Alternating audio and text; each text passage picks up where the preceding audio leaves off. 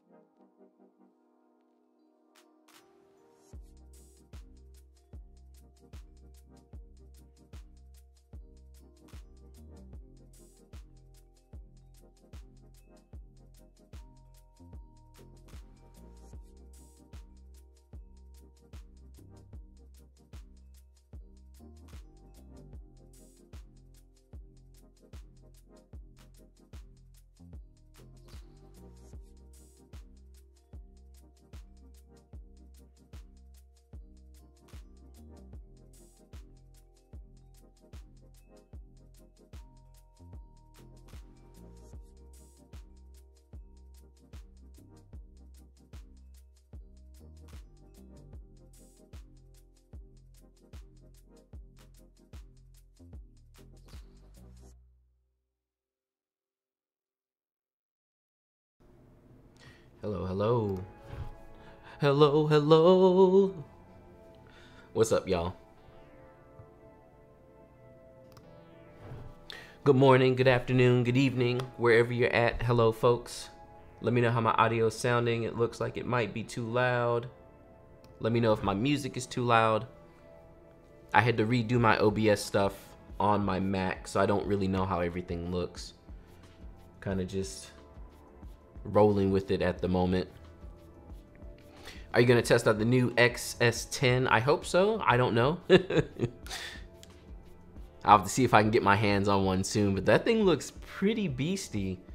Um, especially as like a, uh, like a vlogging camera or just like YouTube vlog vlogging type stuff in general. I think it'd be hype, especially because it has IBIS and it's tiny. It's basically like everything I wanted from the XT30, but not uh, XT30. I guess. you got a flip screen. I mean, like, it's literally gonna be like the perfect. I'm wondering if like YouTubers will jump on it at all. Audio's good. Really hear. Don't really hear the music. Oh wow. Interesting. It's always getting the audio is the worst. We're getting some. It's pixelated. Wow, my thing is showing me that it's only going up to 360 as far as quality, but I'm definitely streaming higher than that. Unless I unless I messed up something.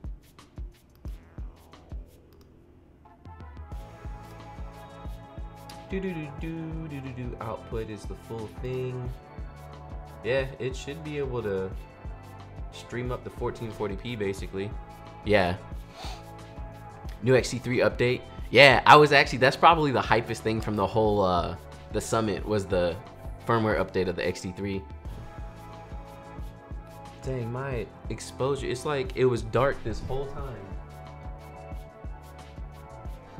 And then the moment I start streaming, the sun is like, ah. there we go.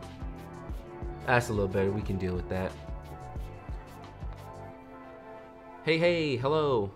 Welcome, everybody. Good morning. So, basically, what I'm going to do is if you all aren't familiar with Narrative, basically, they make an app for making blog posts on your website, which making blog posts of your weddings and engagement sessions and so on and so forth is actually super important and it can help you get more business in the long run and stuff like that but they also have a beta of a program they cull Selects, which is basically a competitor to Photo Mechanic.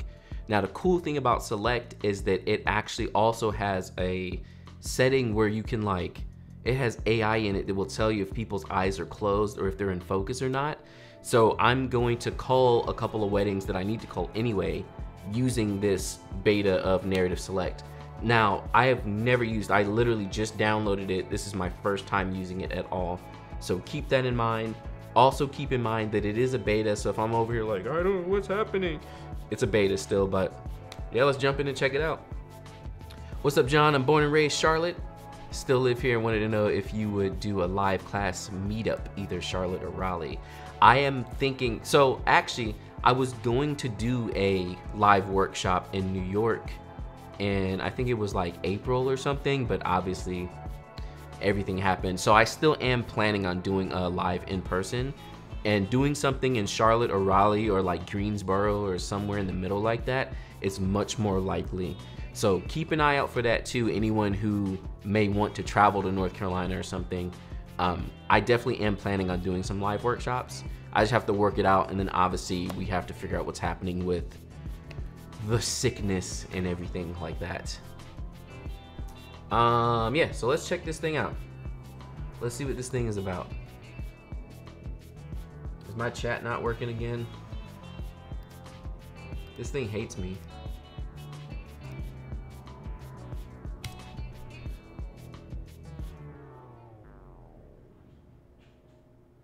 All right, so here's narrative. It says create a project. Um, oh, there goes the chat. Wow, look at it. Wow, it's just.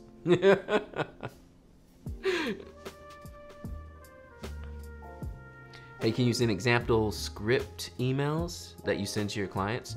I could, I actually don't really have scripted emails. I usually write out a lot of mine. I need to start making more like scripts, but I do have like a workflow and stuff like that. That stuff will probably be kept on Patreon mainly. Um, see, okay. So me personally, I'm already running into something personal that would be an issue for me is that I don't even know what I'm gonna cull first. So the fact that I have to put the project name first is kind of annoying actually. Um, so what am I culling? I need to cull uh, Natalia and Brandon.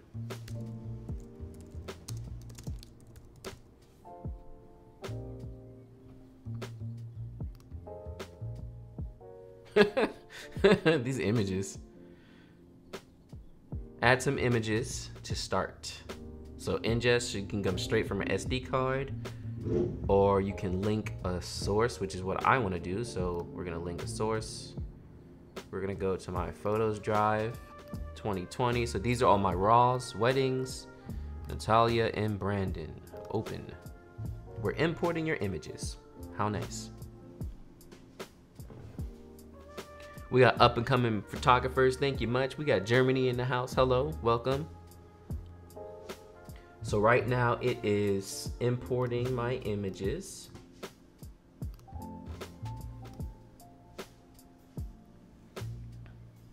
I wish there was like a bar or something for me to know. Also too, I wonder, because people be having issues with rafts. Hey, thank you for that super chat. Thank you for the super chat. I really appreciate it. Thank you so much. Okay, let's see. Face data loading. We're currently working on getting this faster, so please bear with us.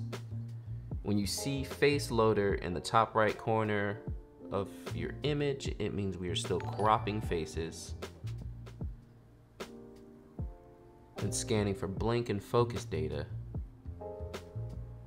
Unfortunately, until this process is finished, you won't be able to use some of our key features. Okay, that's fine. Got it. Oh, there was a bar? I didn't even see it. Thanks for pointing that out. All right. We're in here. So we got our photos on the left. What is this? Zoom straight to face. Pressing space. Okay, so you can zoom in on your photos zoom level, zoom peaking. Okay, so this is normal, I see. Ooh, I'd love to cull like this actually. Or maybe like, cause I don't need the whole photo. Or you can, was that zoom to fit? Yeah. John, not speaking English, Viltrox lens, good or bad. I've never used any. Um, I actually just got an email someone was offering me to test out a Viltrox, so I might do it uh, so we got a grid mode. Cool. Can you cull in grid mode? You can. Hmm, how nice. But I think this will work. Um, so it looks like I can't use like scrolling or anything to go through the photos, which is fine. Um, I do prefer scrolling because I feel like it's faster. Nice, and it shows how many I've done. So you see the one five star, because I just five starred this first photo. Um, yeah, let's let's see how fast this thing can go. So this was a backyard wedding I did recently.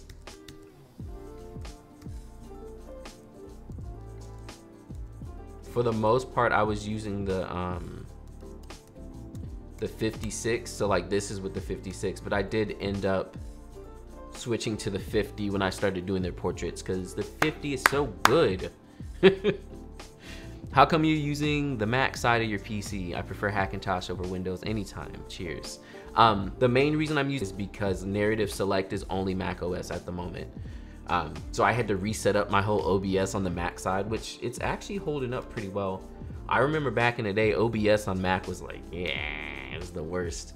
Um, so yeah, y'all can see it here. You see this little line and a dot. So that's the AI letting me know that she's in focus and that her eyes are open. And I think if I hit this, yeah, this is the close-up of her face. So I can like see that it is fully in focus. Oh, will that stay open the whole time? Yeah. So now the bar is yellow because the eyes are partially open. And I think they were telling me you can change your preferences auto advance to the next image after adding. Hmm.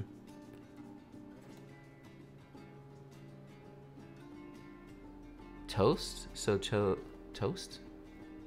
Keyboard shortcuts. Assessments. So yeah, you can change it. And I'll probably change it like this. So you can do green means everything's good. Red means it's bad. Indicators, eyes and focus. Eyes only focus. Show assessments on zoom faces. Film strip. Oh, you can change it. Nice. Canvas color. Wow. Cool. So I'm gonna, can I close this? There it goes, cool.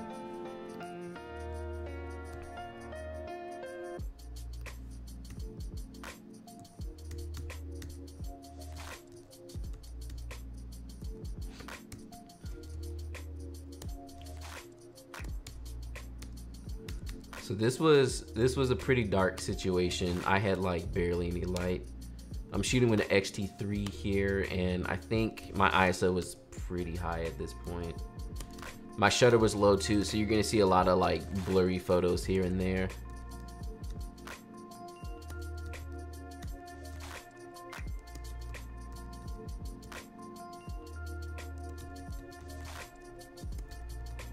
Yo, this face indicator is so good.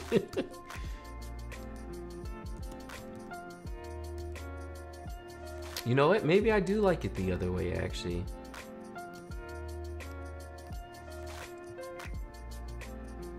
Because then if everything's good, just nothing shows up. Thank you for that sub.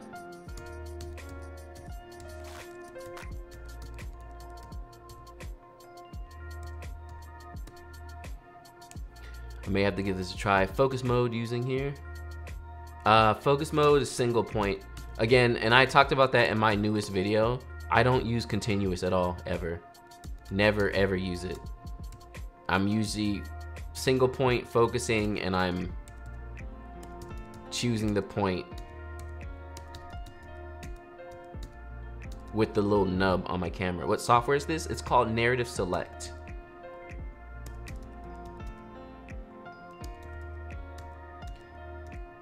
Um, let me see if I can find a link to it actually.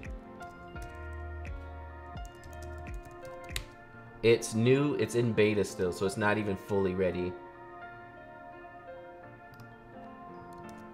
Y'all can check it out here.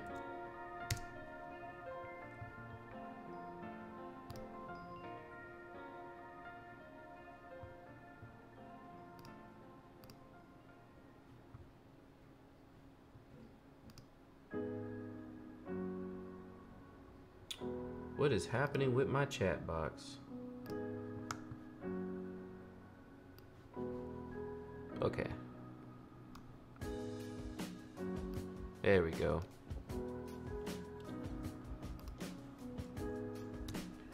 So yeah, basically, and we'll see this once I get to the family portraits, but the real draw to this is that it helps you see if people's faces are in focus and if their eyes are open, which saves so much time when it comes to family portraits.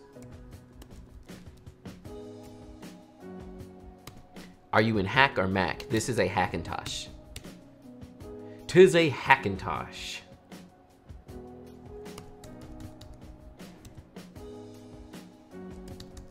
So not a legit Mac.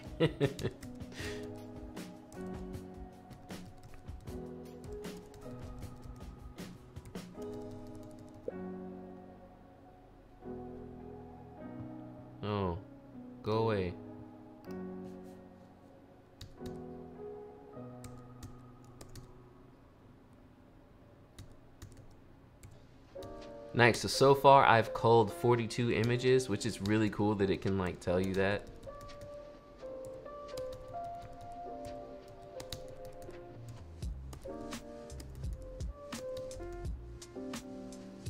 Oh, can I rotate photos? I can't.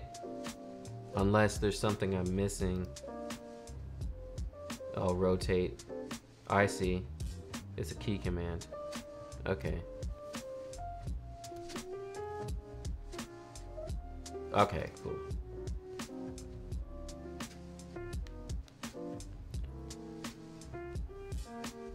They have a queue for those interested. Yeah, you have to sign up with your email and wait for it basically. Love the presets. Just what I needed to make photos pop more. Thank you so much. Glad you're enjoying the preset. Again, it is it is my personal preset. It is what I use.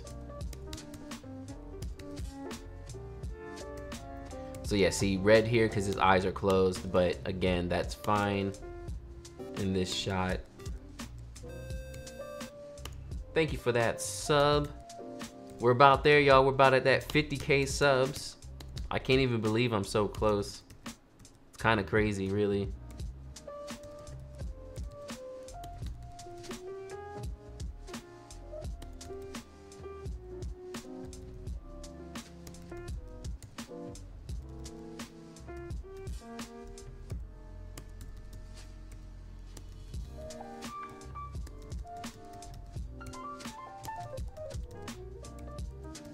So again, I tend to overcull and I'm fine with that. I'd rather overcull and then while I'm editing, I can just make the decision to get rid of stuff. Oh, just to put it in perspective too, let me, as far as like dynamic range of Fuji, uh, where are you? Because everyone's like, oh no, it's crop sensor. How are you, what do you do with low life? Or low low life low light. Um where are my photos?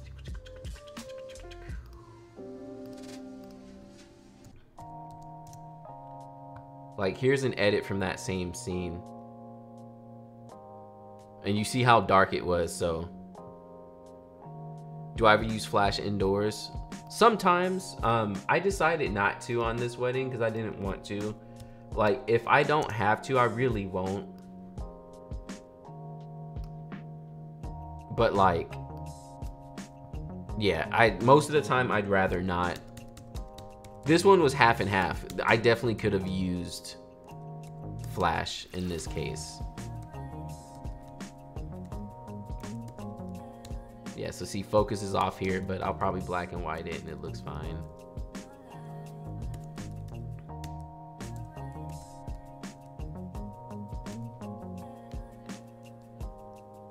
We got Brazil in the house.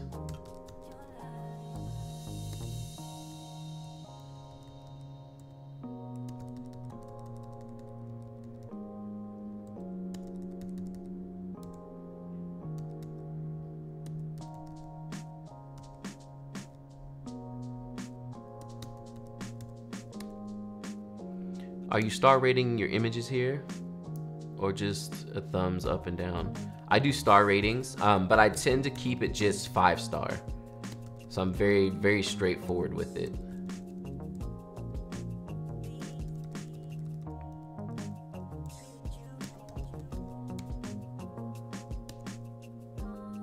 I know I'm late. I just want to know. Oh, your work is amazing. Thank you so much. Raleigh Wood.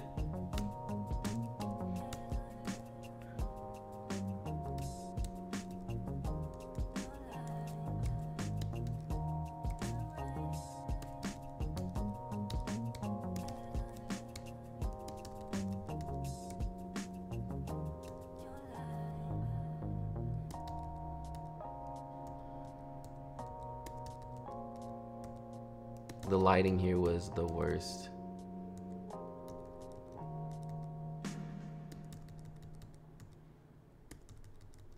Yo, this thing is good. And see, I can, I didn't have it turned on, but let's turn this on.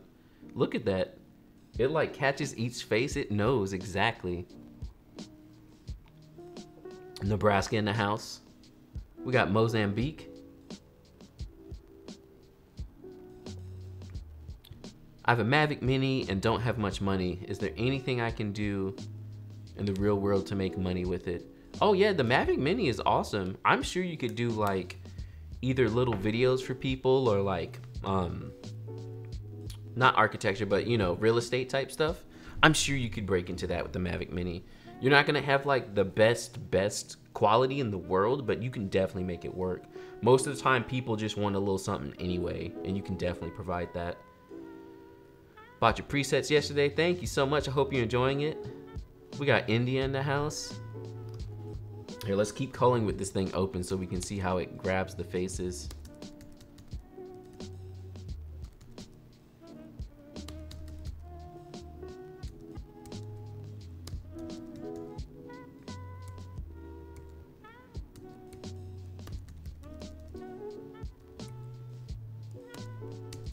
Wow, it even got the officiant in the background. Crazy. We got South African and we got the whole got the whole world.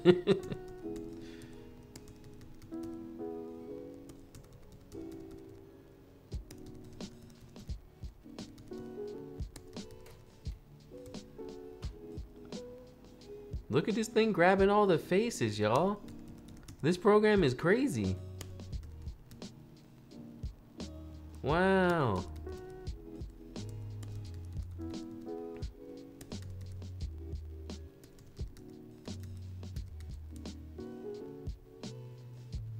It's for real doing this, like. Are y'all are y'all experiencing this with me? This is crazy. this is narrative select. It's in beta right now. Out of the topic, can you tell but can you tell something about the XS10? I honestly don't know much about it. Um, I have not used one physically or seen it yet. Um, but I think it's hype. And honestly, as far as like YouTube is concerned and vlogging, I think it's it is the the camera to have for vlogging and stuff. If you're gonna go Fujifilm. And I hope people do go Fujifilm because that color, the colors are like where it's at.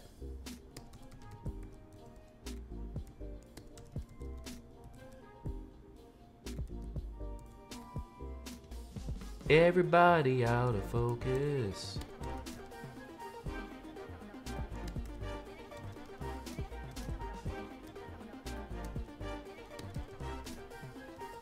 Y'all see how drastically that lighting changed because the sun started going down? White balance is gonna be fun. It's an entry-level Fuji for 1K. That sounds great to me. I mean, yeah, so you're running from side to side here. Yep, I am. Um, I did not have a second photographer at this wedding. Um, especially just because it was like a small. So like, yeah, it's a small wedding and it's just me. And moving from side to side, honestly, is not that hard. You just have to kind of know the flow of a wedding day and kind of just take your time This was all done on the 56, so I'm like moving closer with my feet and everything, getting in there for a couple of zoom shots.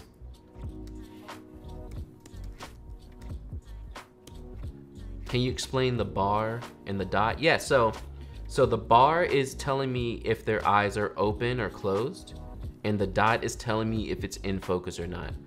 Um, so you can see here while I'm hovering over it, red is saying his eyes aren't totally open. They're saying 13, so like, oh, like very close to being closed.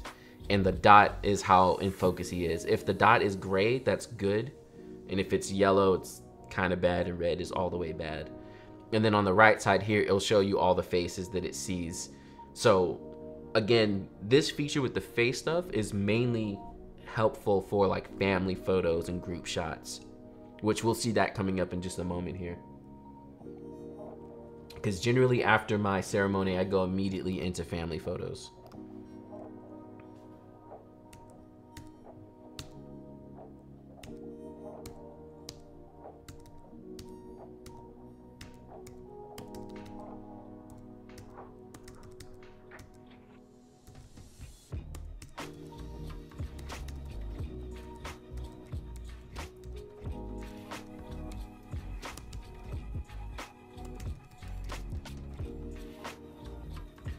So for first kiss, I usually throw my camera into high shutter speed. So on Fuji's, that's the, uh, what's it, H, the CH.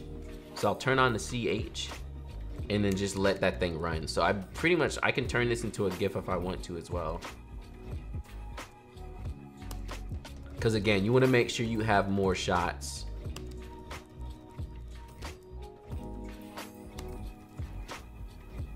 Yeah, so see here, the focus grabbed her in the back.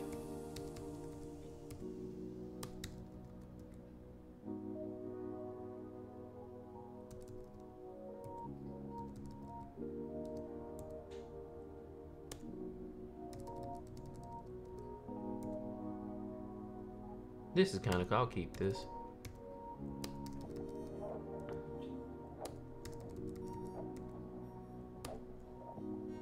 I got the BenQ monitor like you suggested and absolutely love it. Awesome, nice. Yeah, they're definitely my hands down favorite. Actually, they're starting to become my favorite brand too. I um I made another Hackintosh. That's the video I made recently. So that little Hackintosh, my wife is actually gonna use it mainly. Um, so I got her a little like small, like 20 something inch 1080p BenQ monitor and I was highly impressed by the monitor. So BenQ is kind of my go-to right now.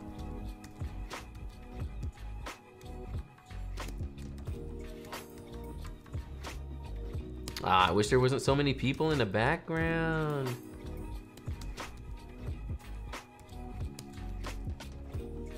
I ended up, I photoshopped one of these shots and got his dad out of the background.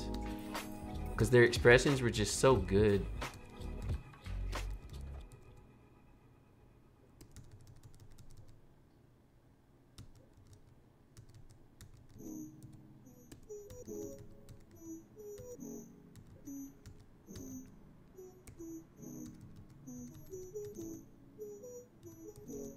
This was signing of their... Yeah, so here we go. This is where Narrative Select really shines. What software? This is called Narrative Select. Let me post it for y'all. I think I, is it in my, yeah. Check it out there. It's still in beta, but definitely, definitely check it out. I actually think I have a link. Yeah, I got a link specifically for y'all. Hold on.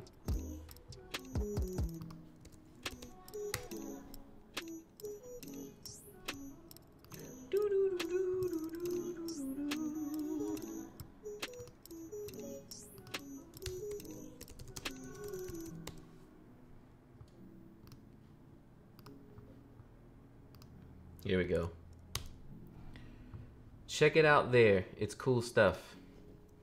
Cool stuff. But yeah, so it's showing me that everyone's in focus here. We got everyone's faces. Everyone's eyes are open. Are you using face autofocus or spot to capture these, especially the bubble shots? Uh, I think I may have turned on face autofocus for the bubble shots. But for the most part, and again, I've said it, I don't use continuous because especially for something like bubbles, like, oh wow, you can go through the different phases. Yo, this thing is pretty cool. Um, if you do single point, I can just find the face and grab it and keep it there. If I have continuous, it's gonna keep getting caught up on the bubbles and stuff. So a lot of times I just don't use continuous autofocus.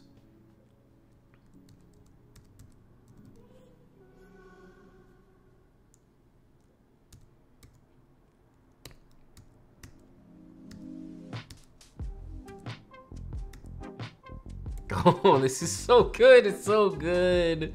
It is so good.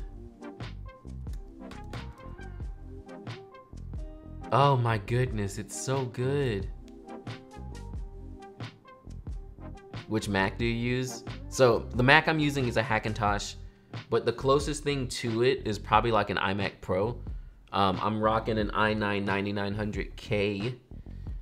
Um, and then I have a Radeon 7 for my uh, graphics card. This is hype, y'all. This might be the new look.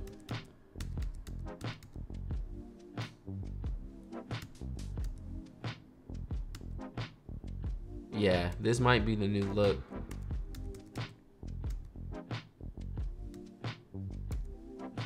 Photo mechanic might have to go away. Look, we even got the kids in there so we can see if they're looking at the camera. 6,600 on the wait list? Wow. You can't open the last link? Oh, it worked for me.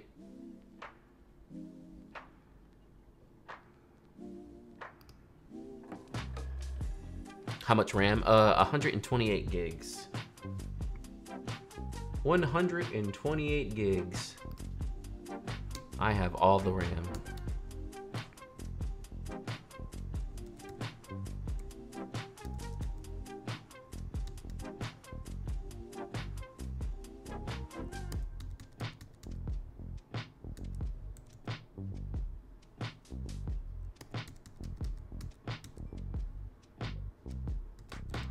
Bro, this is, I can't, this is so good.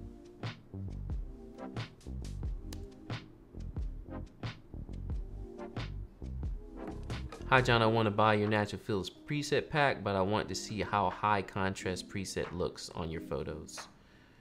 Uh, I can do that at some point when I do another one of my editing all the photos type of photos. Did I already cull one of these photos? Yeah, that was this group. Okay.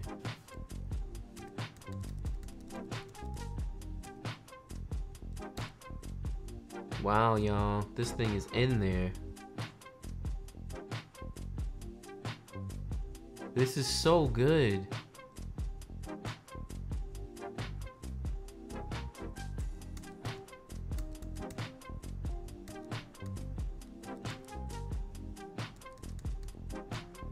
So, so good.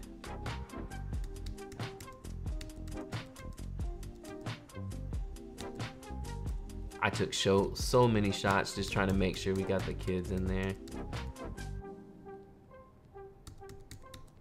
So it does seem like it, it's not really slowing down that much, but it definitely is like, it feels a little slower than Photo Mechanic. Especially when you're dealing with those group photos. But on the same end, it's like showing you close up of everyone's face, so like I'm I'm fine with that, you know? so this at this point I switched over to the 50 F1. This is the 23 F2.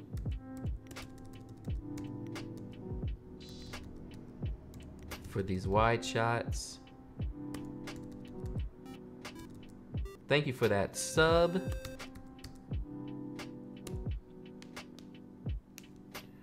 Program are you using? I just came in. This is called Narrative Select. It is in beta. It is awesome. Definitely check it out. So it's for culling. It's Mac only currently, but it shows you everyone's faces with AI and it'll detect for you if their faces were in focus and if their eyes are open or not. So see here, in a group shot, it's pulling everyone's face. Everything is gray, so that means their eyes are open and everything is in focus or basically in focus. Dude, you have to tell me how to get that 128 gig Hackintosh. is this only for Adobe? No, this is by a company called Narrative. So this is totally outside of Adobe. But you can use it in conjunction with Lightroom and stuff.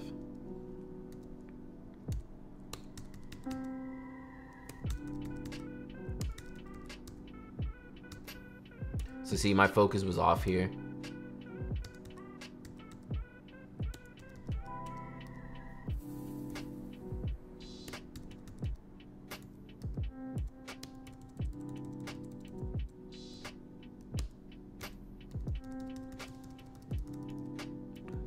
This is all with the 50F1.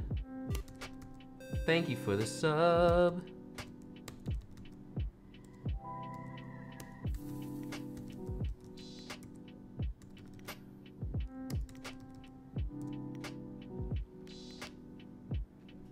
Good morning, hello.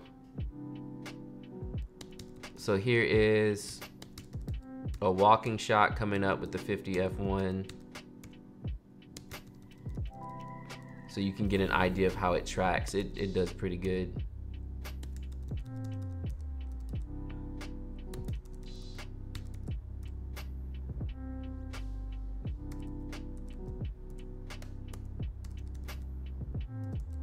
This is back on the 23, it looks like. 50 F1 again.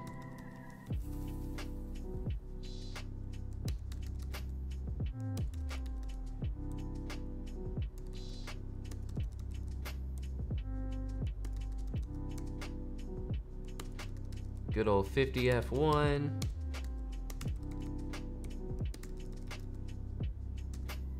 Sixteen two point eight. Have you ever tried the Viltrox 56 1.4? I haven't, but again, I do have, someone just emailed me and they want me to try it out. Um, so I may, I'm, I might have to take them up on that.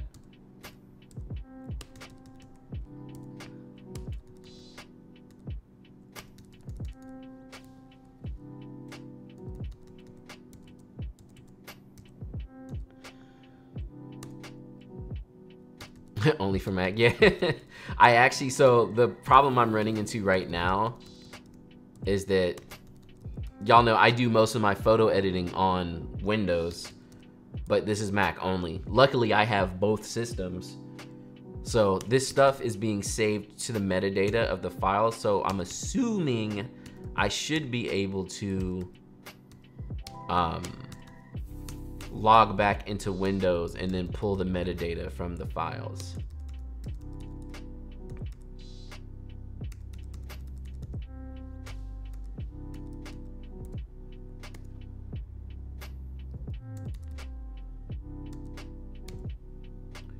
Do you edit chronologically? Uh, editing, no. Culling, yes. Um, it's much easier when I'm kind of like following the day because I, I remember the day and how it went and you know what was going on and it just makes more sense that way. It helps me cull faster too because then I know like what's coming up and how the pictures were and so on and so forth.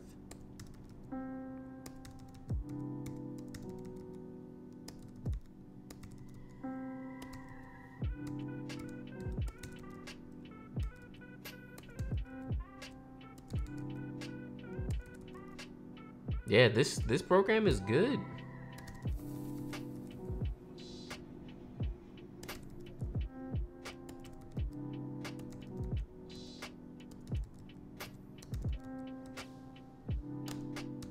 So this was a Brenizer, this was the safe shot. And then here are all the other shots to go along with it. Have you used JPEG Mini? If yes, how is it? Yes, JPEG Mini is a normal part of my workflow.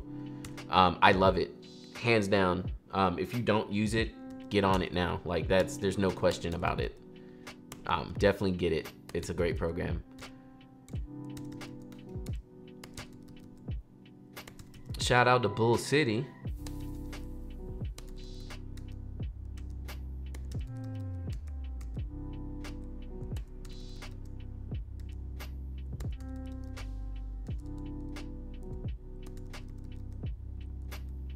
Here's some off-camera flash for you all, since no one ever sees me do it.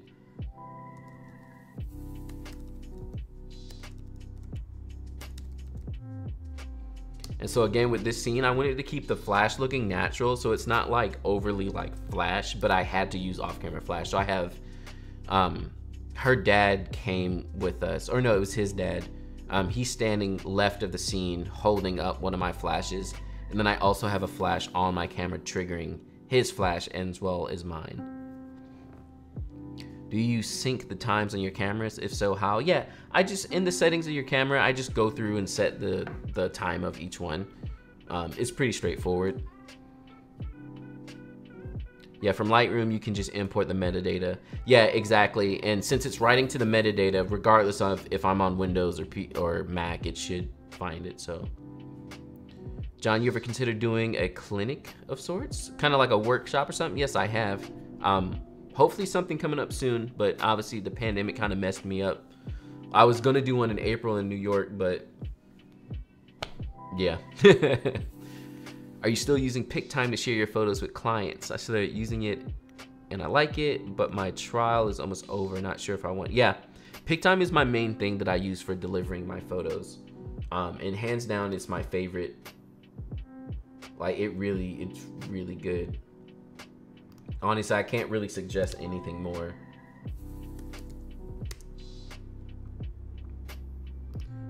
In my opinion, it's one of those must-haves. And honestly, I'm about to make a video.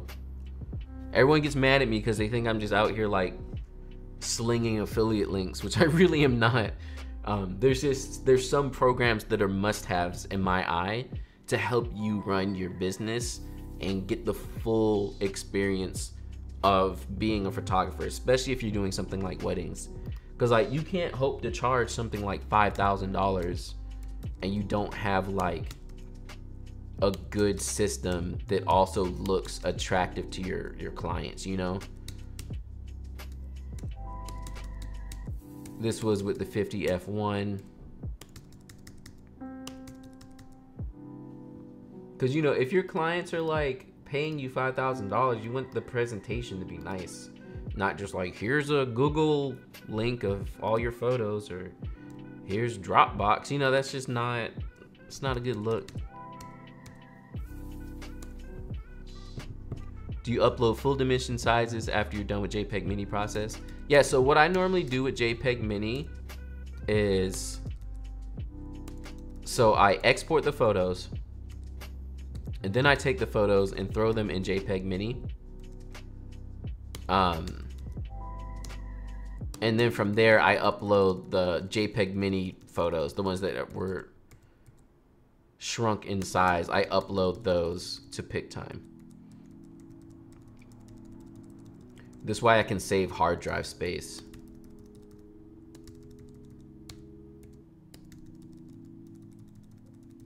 I messed up, y'all my shutter was slow and I was rushing this Brenizer. So you see how like I got the motion blur in some of the shots. So I don't know if I'm gonna be able to use it. Yeah, it looks horrible. Oh, so see we got closed eyes. So we got our red. So here we go, that's better.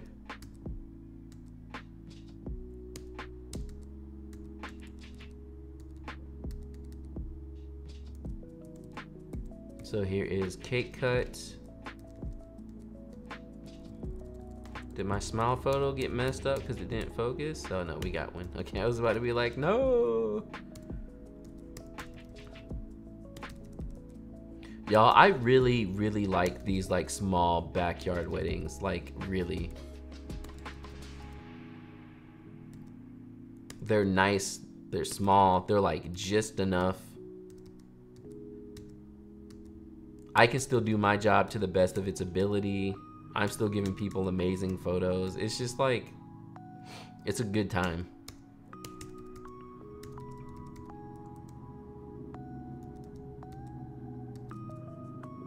So I shot this first one with the 50 f1 and obviously not everyone's in focus. And I stopped down some, but it also was dark.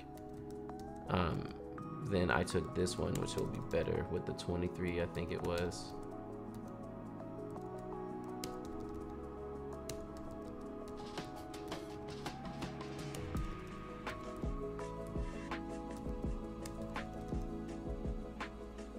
There's their little goose friend they had at their house.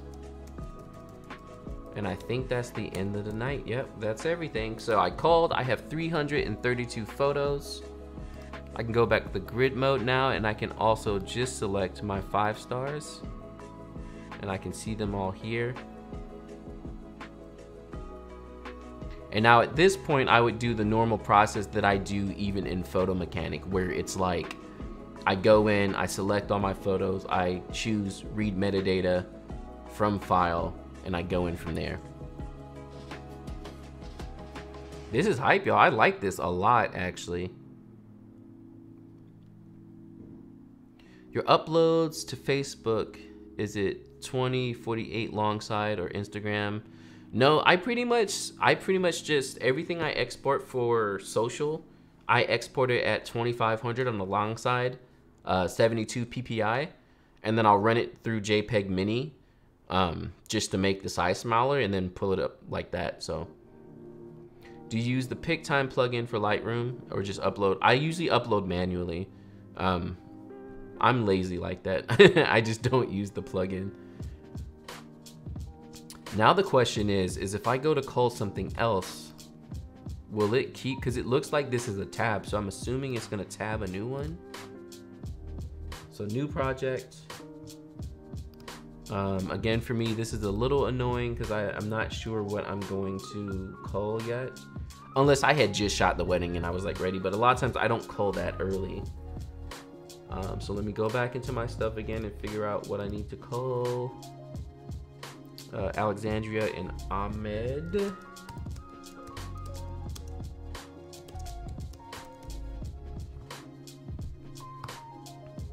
And then we want to link a source. Our source is here. Where's this bar? At the bottom. Oh, I see it. That thing is so minimal. I guess y'all can see it better because you have this like nice full screen. that thing is like so far on the bottom. I have like 32 inch screens. Do you shoot 3 by 2 or 16 by 9 Or what is it? Curious as to how you size your photos for the customer. Yeah, everything is 3 by 2 just like the normal photo length. The only time I ever 16 by 9 anything, a lot of the times is if it's a Brenizer shot or if I just think it looks cool as 16 by 9. But generally I don't 16 by 9 anything. So here goes all of our stuff again. Cool. There it is, we're in here. We can open up our face panel again. Nice, yeah, and then the other one is still open as a tab. It looks like the grid mode is universal, so it'll stay. Oh no, it's not. But it just, okay, it doesn't go back to where it was. Cool. Let's cull down again.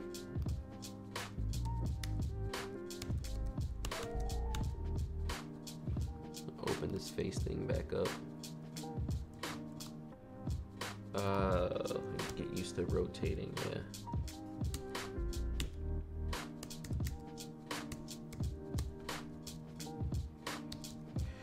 Yep, y'all, I'm liking it.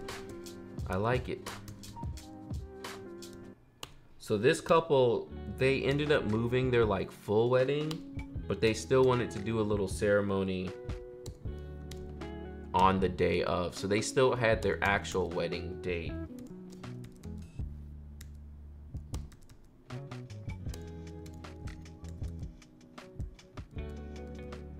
This is the 50F1 with an extension tube on it to get that macro shot. As far as editing is concerned, do you ever crop anything out of the shot or do you try and keep that in mind while you're shooting? I generally try and keep that stuff in mind while I'm shooting. Um, that's kind of, I don't know if y'all checked out my new video, but the seven tips for your first wedding. But that's one of the tips is to like clean up your backgrounds. So I do try my best to keep that stuff in mind. Now, again, I do shoot mainly for the emotion. So if I do run into something where like the emotion was good, but then, you know, there's stuff in the background, that's just kind of what it is. But if I do have control and the time to go ahead and remove some stuff from the background, I do. Same as if I, um, you know, like this shot in itself, it was pretty clean. There was, um, some bottles like dog cleaning stuff or something right in this area and I did remove that stuff because again it was just an eyesore in the shot. Hi John, here is a different question. Go ahead, put it in there.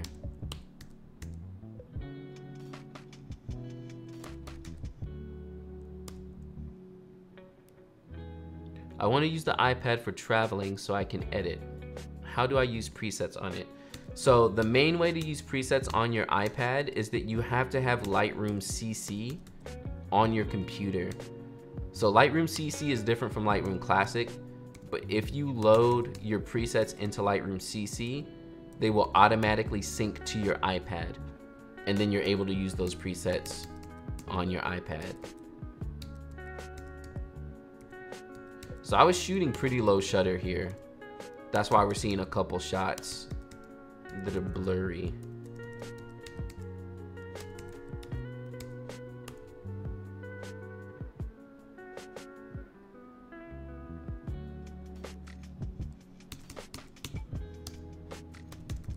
But for the most part, this stuff is fine and it's savable and it works.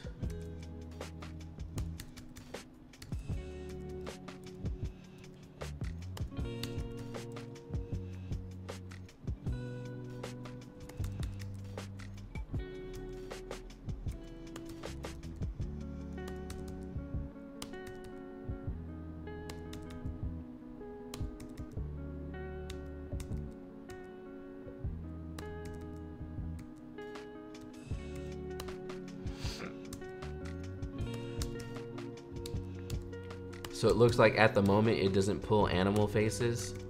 I don't know if y'all saw it didn't. She had her dog with her. Bro, that last one was better.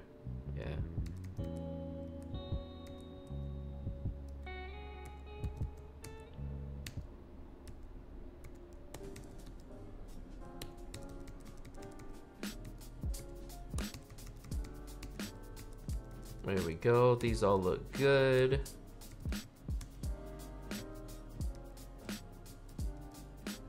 There we go.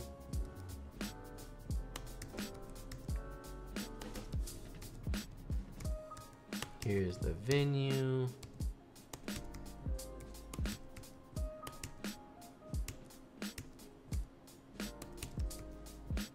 I think these were test shots, yeah.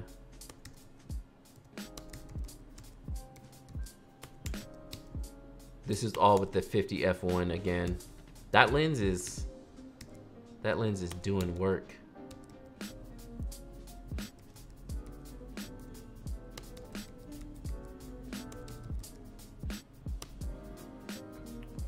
What is your ISO on these? I think I was up around 800. I don't like to go that high on my ISO. You should totally do a flat lay tutorial. Your flat lays are fire. Thank you so much. I do have, um, I made a video that I made a mistake on and didn't record my A-roll. Um, so that is on Patreon. So there is a video currently of something. I used off-camera flash at this wedding as well. So narrative select doesn't see the face of the dog. Yeah, it looks like it didn't see it at all. Speaking of Lightroom CC, do you still edit in CC or do you stick to classic? CC doesn't allow for anything above 300 quality exports. Yeah, as far as far as CC is concerned, the exports still aren't there yet.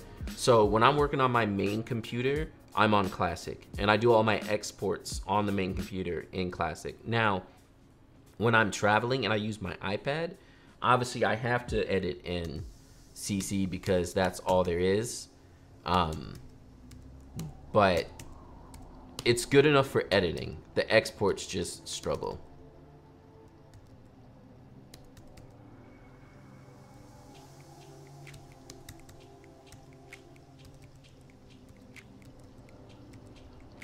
The timing on my cameras is so off.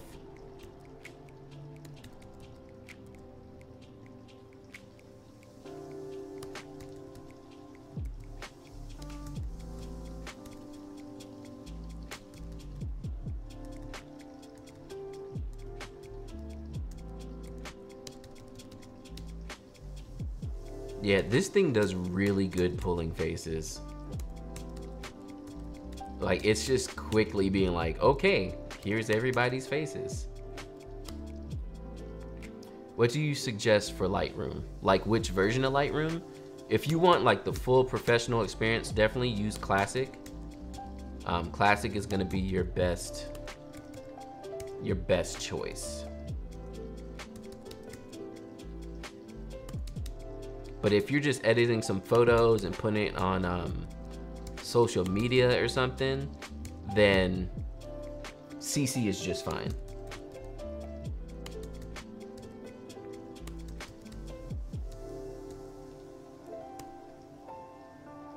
How do you decide between shots that are extremely similar, especially when you have multiples of the same shot? When I used to shoot weddings, I'd only take one or two of the shots, not four plus. Basically for me, it's all just about emotion and feeling. Um, I do, again, tend to overcull. So what will end up happening is when I go back to edit, I'm gonna cull down when I have like too many of the same shots. So obviously, yeah, I could probably save myself some time if I just like, you know, didn't take as many shots and so on and so forth. But you know, I like to get the emotion in there.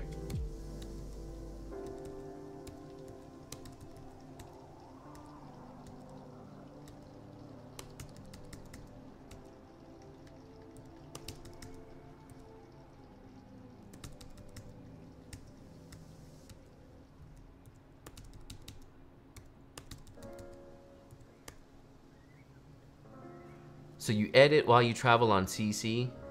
What then? Is there a way to transfer these over to? Yep, there is. Um, I have videos on that stuff. But basically, especially between an iPad and a computer, how it works is that if you're in Classic on your main computer, you can have photos sync. When it syncs, it syncs to Lightroom CC. So then when you pull up your iPad, basically you're seeing all the photos synced over. You edit it on your iPad and then it syncs back to your main computer. And then when I get back from traveling, I can just jump in and export all the photos. And that's usually my process.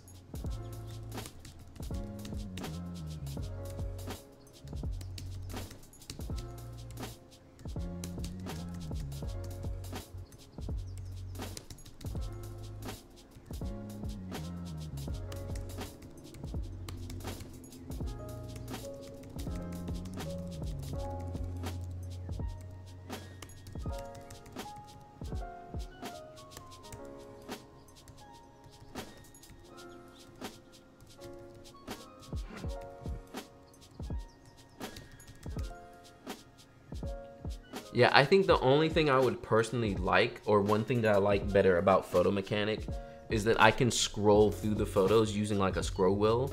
Whereas with this, it's it's just the button, which is fine, but it's just a lot of pressing. So here we go. Selects shining, shining feature, which is it being able to see everyone's faces. So group shots, family shots, hands down the best. Cause now I already know the shot is framed right for the most part. Um, so now I can just look on the right side here and see that yes, everyone's looking. We even got the little baby looking.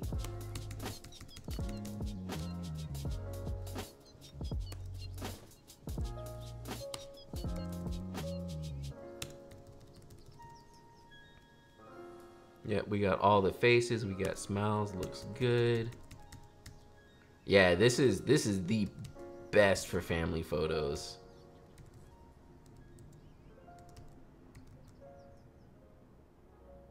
Hands down the best. This is crazy.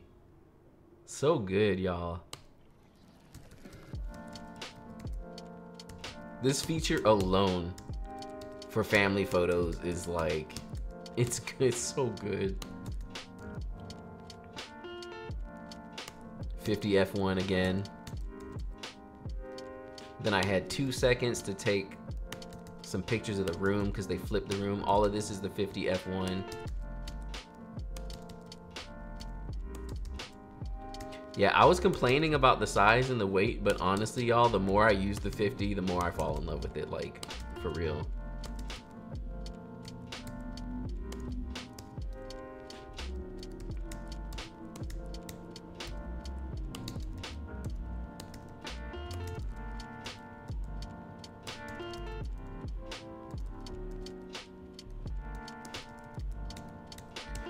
Now we're on a couple portraits. So this day it was raining, right? So the the biggest thing you can ever do for yourself on rainy days, especially if it's in and out, is take photos where and when you can. So this couple, they wanted to go to downtown Apex because we were in Apex. And so we were about to go, but you know, we had this covering. So I was like, let me go ahead and take a handful of portraits of them here under this covering that still looks nice. Because again if it starts downpouring which I didn't know if it would or wouldn't I would have no photos at all if I was just like okay let's go downtown like we had planned.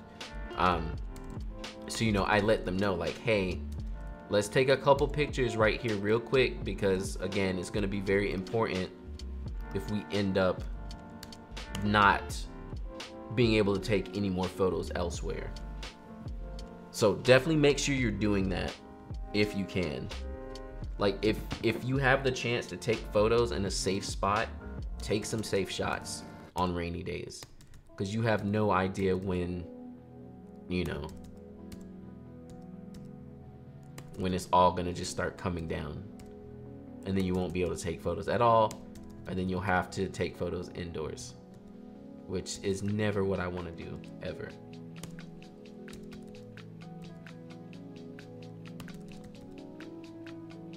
This is more 50 F1 portraits.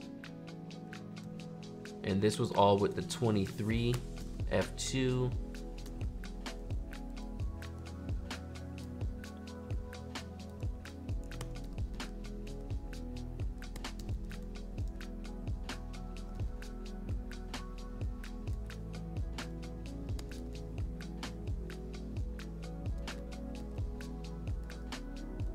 Comes this walking shot I posted the other day.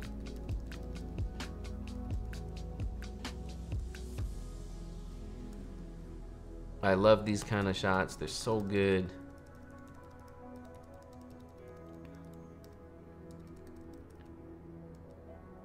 And then I took it wider just in case, which I need to go back and mess with the wider shot.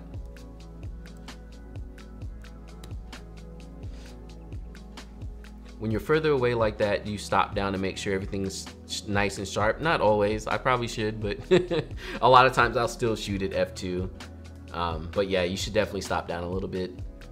What was your f-stop for the staircase when they were standing apart? I'm pretty sure I stopped down a little bit, but I may have shot it wide open. We got Bosnia and Madagascar in the house. Hello, welcome.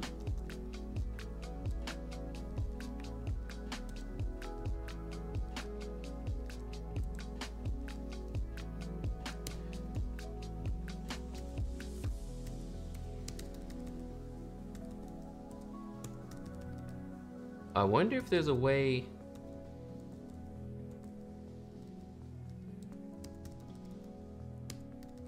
So the ground was wet, so the only problem is she's, she's holding her dress because again, they want to do like a ceremony and party later. So obviously for this shot, I wouldn't have had her holding her dress like that, but I think it's fine still.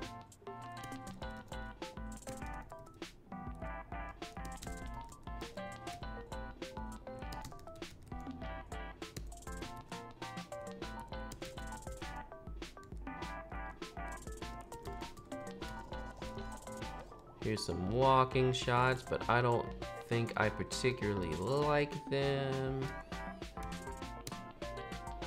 Beautiful photos, gotta get back to work, but greetings from Mexico. Thank you for hanging out and watching. We got Switzerland. The color of that building, yeah, that blue is so good.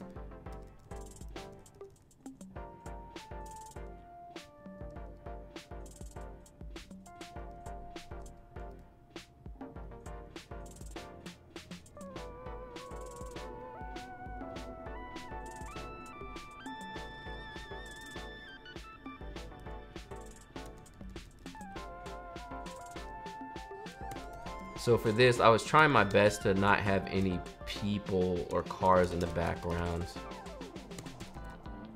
And using the trees is kind of like framing.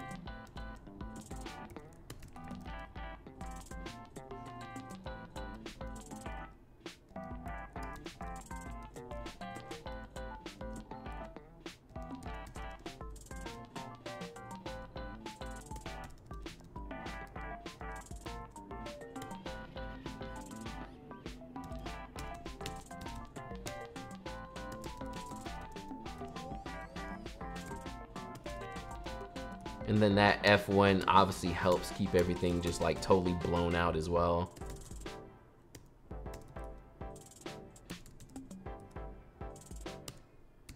These were shot with a 16 2.8, which that's another good thing. Like, yes, it's 2.8, it doesn't let in as much light, but it's kind of nice because everything is already kind of stopped down. It's gonna be nice and sharp. So you don't have to worry about any of that basically. And then all my close-ups were with the good old 50 F1. Someone gave them a congratulations and that's where this shot came from. Now for this, I don't particularly like the hand placement, but outside of that, like, I just love the expressions on everyone's faces. So sometimes you kind of have to deal with it. We got California in the house. Hello. Good morning. Yeah, good morning, right? Is it better to lighten a dark photo or to darken a light photo? So it really depends. There's a lot of things. So the biggest thing first to think about is your clients and their skin tones. So obviously here we have mixed skin tones. And generally when you have black or brown skin, you don't want to underexpose too heavily. So in that case, brightening a darker photo, it does work and it's good because again, you want to save your skies, but you want to expose for the skin as well. If you have someone with darker skin and then someone with lighter skin and you underexpose too much, you lose a lot of detail in the person's whose skin is darker. So that's my biggest tip to anyone shooting photos of someone with darker skin is don't underexpose too much. You actually want your exposure to be pretty much spot on. But generally, it's easier to lighten a darker photo than it is to darken a lighter photo. But it all depends again on the scene and what's in the photo and just general everything really. It really comes down to the whole scene and what you're trying to expose for. Usually if you're exposing for the people, then, you know, that's gonna be the most important part. So now we're at the end of the night. At this point, it's just reception, stuff like that. Pretty straightforward, um, especially because, again, this is like a small wedding, so there's not really, there's not really a huge reception. Like there was some speeches and that was about it. I was shooting everything with the 50 f1, but because of the way they were sitting, they're kind of on the same focal plane, but they're not really totally in focus, so.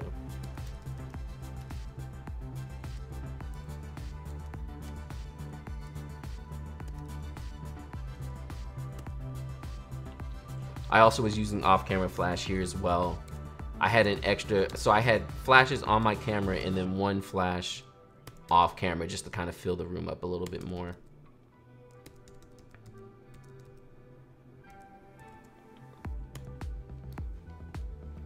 Is that a white balance thing with skin tones? Yes, skin tones is also white balance as well. So it's don't underexpose if you have super dark skin and also with white balance, it's, if stuff is too, and I've, what I've noticed is even when you shoot raw, if you shoot and the Kelvin is off on the skin tones, it's hard to bring it back correctly. It still doesn't look right. So for instance, like if you're shooting brown skin and Oh my goodness. if you're shooting brown skin and in camera white balance has everybody looking extra blue, you need to warm up your Kelvin so that their skin still at least looks brown so that when you go to um, actually edit your photos, the skin is already in a brown tone. Because if you don't do that, you're gonna run into issues. Like, like for real, you're gonna run into issues.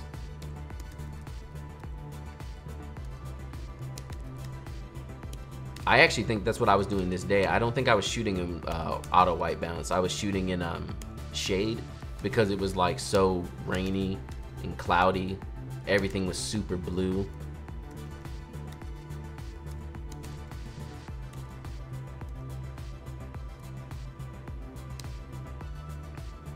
Hello, I bought your preset for Natural Feels and they are very good. You're a boss. Thank you so much.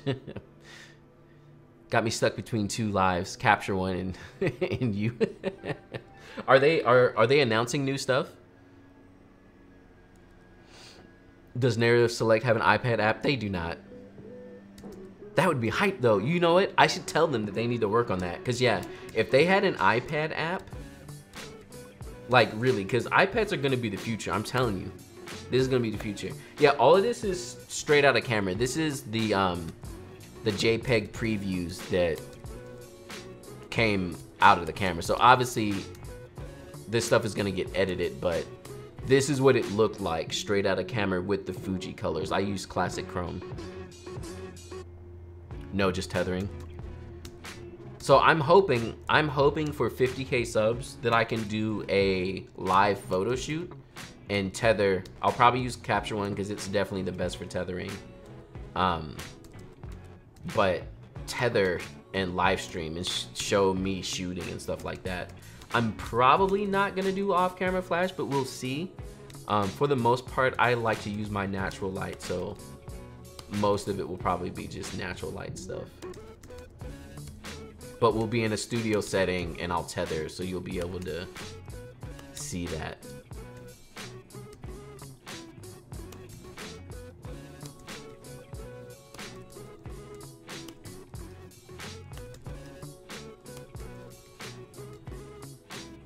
So cute, we got a little cake cut here.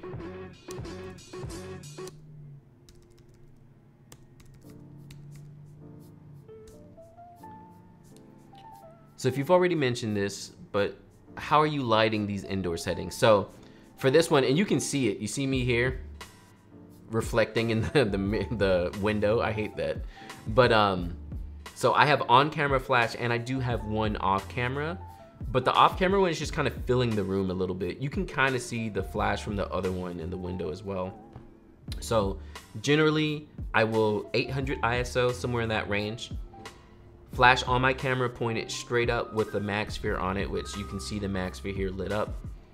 Um, flash power is usually around 132 or 116. And then my other flash which was off to the right of this scene somewhere and it was pretty far it's on a stand and it's fairly high i had that one at 116 and a MagSphere on it pointed straight up again just kind of throwing some light around um the flashes that i use they can trigger each other so that's why i have on camera and also off camera flash going at the same time it's kind of the the best overall scenario Got to get the baby shots in. Oh, look at it. It's so sharp. Look at that. So yeah, even on this one, so there's on-camera flash, and then there's also a flash to the right helping light this as well.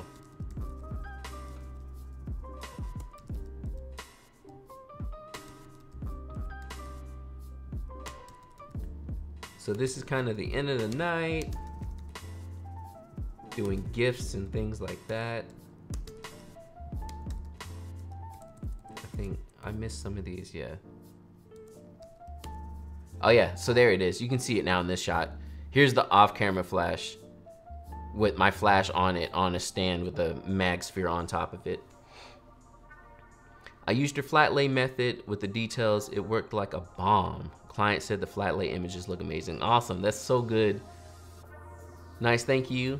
The photos came out good. I got MagSphere too. Awesome, awesome. Hey John, how are you doing? Can you recommend memory cards that are fast enough for the XT2? Yeah, so with the XT2 or 3 or whatever, um, generally what I've been using are these SanDisk Extreme Pro. I usually do 128 gigs. It's probably not gonna focus if it sees my face, is it? Maybe. No. it won't do it. Ah! Um, their SanDisk, I use the 128 gig ones, and it's 170 megabytes per second. Um, they're fast. They're good. They're good. They're fast. They're good. They're fast. They're good. They're fast. The live streaming photographer community is growing fast on Twitch. We'd love to have you on our team if you're interested. So you know what? I actually started live streaming on Twitch because especially me being a gamer mainly, I was drawn toward Twitch first. I had a hard time streaming on Twitch. No one even knew me. It's hard because I feel like the, the art community on Twitch doesn't get as much love as it could or should. Um, but that's where I started and I was following a couple of photographers there as well. Your work is dope. Shout out from Minnesota. Thank you so much. Yeah, y'all see the flash here reflecting in the window. So that's the off camera. So it's coming from the back here. Do you create mood boards for your shooting? I don't normally, um, but I should for styled shoots. Here's a gift they got from grandma. She made this by hand. How cute. And that stuff, you gotta get that. So like, if you see earlier, um, in the shot. So I was here, right? They opened the gift and I couldn't really see it from this direction. So when they were looking at it, and they're like, oh, did you made that? I immediately moved um, to make sure that I got this shot. And you have you have to do that. You have to pay attention to stuff. You can't just be like, wow, something's happening. Because especially when it comes to grandmothers or grandparents in general, you know, they're not they're not gonna last too much longer, you know. And I don't say that to be mean or anything, but you know, it it is the truth. You know, they're they're close to the end.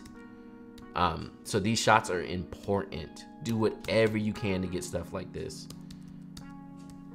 Yeah, so this is what I was saying. They opened it up and they were like, wow. Um, and I can't see anything. So I immediately moved as quick as I could.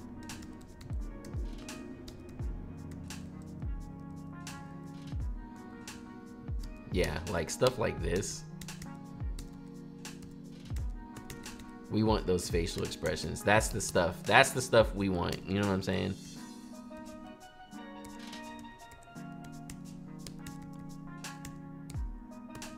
Fifty, y'all. The 50 F1 is so good. I mean, like, I used it at first and was like, it's so big, it's so heavy, I don't know. And every time I use it, I'm like, Yes. It's hard to tell, but your light bounced off the ceiling, or is it pointed directly at? It's it's bouncing off the ceiling, and also the mag sphere. So which is why I have it pointed up. It's just kind of filling in, and a, a lot of times I will depend mainly on bounce flash as much as possible because that's gonna give you the most natural look to your flash. Because if I pointed my flashes at people and use like grids and stuff, you get that whole like shadows everywhere look, which I personally don't like. Um, again, to each their own. They're both all great techniques. As long as you're getting a good exposure and making good photos, you know, it doesn't matter. But generally, that's what most people will do is they'll point the flashes at people.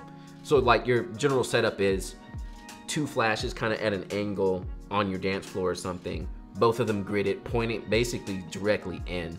So it lights everything and the light's coming straight in but then you also end up getting like shadows everywhere because the light's just flashing. So it's half and half. I personally am not a fan of it, but again, you can do whatever you like as long as it's lit and it looks good.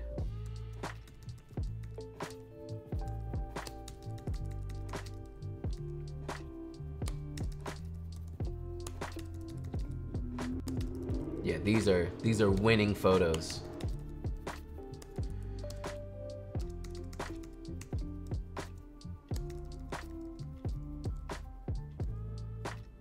Oh yeah, and then they were pointing out her socks.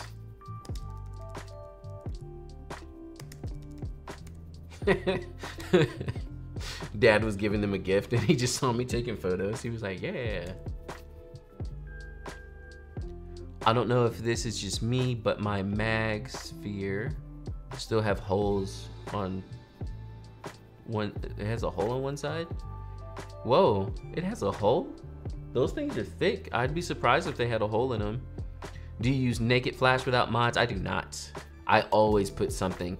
The only time I ever use naked flash is if for some reason the flash isn't going far enough for me.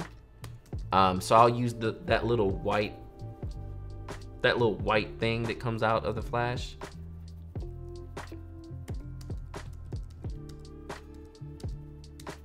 Here goes some baby photos. I didn't get a picture of that cup. Here is some ice cream.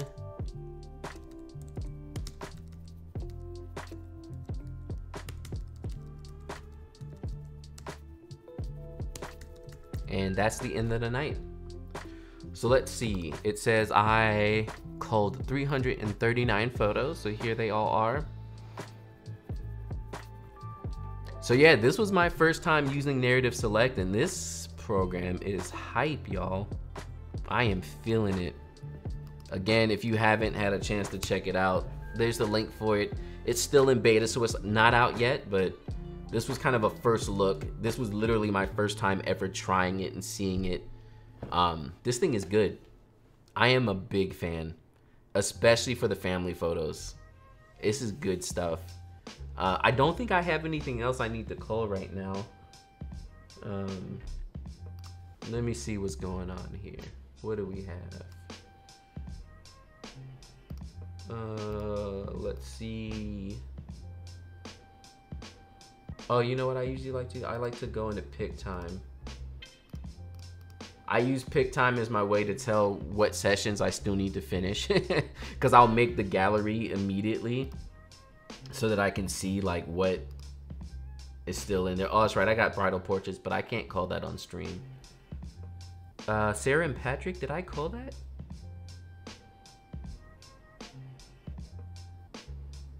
I can't remember if I culled that. Yeah, I did a bridal portrait shoot a while ago, which was awesome. But again, those kind of photos you need to keep on the low until the wedding day. Like, I don't want any way for the groom to see it. And because now that I'm doing YouTube and my couples know that I'm doing YouTube, you know, they may come on here and see it. So, which Canon lens is most similar to the one you're using for these on your Fujifilm? Um, so basically, it's, as far as focal lengths on Canon, you know, I'm using a 35, a 50, and an 85 on my wedding days. Um, so if you have like any of those in 1.4, you're gonna get a better depth of field because it's full frame. But those are the lens focal lengths you wanna use. All prime, 35, 50, 85.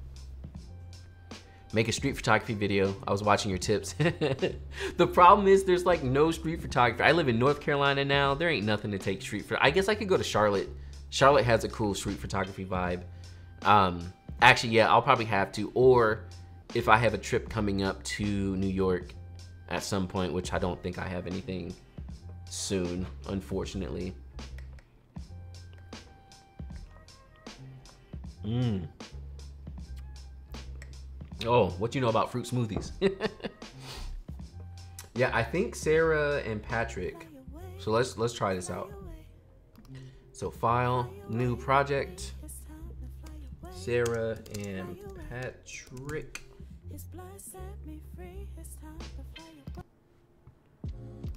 Next, link a new source. Weddings. Sarah and Patrick. Open. Do you have any thoughts on the 90 F2? Yeah, so I have the 90 F2. And the only reason I got it was for churches where they're like, you have to stand in the back and you don't move and you don't go nowhere. Um, I don't use it that often. It's too close for me. I don't know, I've, I've gotten out of that. I tend to shoot wider. So when I was on Canon, I usually shot closer, but I don't like close lenses now. So I'm more apt to not use it, but the 90 is nice. Um, it is a great lens. Do you watch anime? I do. I watch, actually, it's pretty much the only thing I watch. like, if I'm watching TV at all, it's anime. I haven't watched any in a while, though. Did I not cull this yet? I guess not. Dang, y'all, I'm behind. Gotta run. We need to hook up. I'm in Raleigh too. Yeah, definitely. And again, I may be doing some in-person workshops, so keep an eye out for that stuff. You could photograph the phone book, and God knows we'd eat it up. thank you, thank you. But yeah, street photography, the biggest thing, the biggest reason I was mentioning that, in my opinion, street photography and wedding photography are very similar because the biggest thing that's similar between the two is that moments happen and you have to know and anticipate the moments happening and be in the right spot to capture it. If you're not able to do that, you like miss out. And weddings are like that too. Now, obviously, weddings are a little bit more controlled because I can break down the whole day into like sections of the day. So, you know, I'm like, okay, there's getting ready, and there's this, and there's ceremony, and there's first look, and there's family portraits. And you don't have that with street photography. But that same like knowing something's gonna happen and framing it up and waiting for it to happen and getting it while it happens, that's the same. And I think street photography is a great way to practice being aware of the moments and grabbing them and framing them the way you wanted them to while they happen.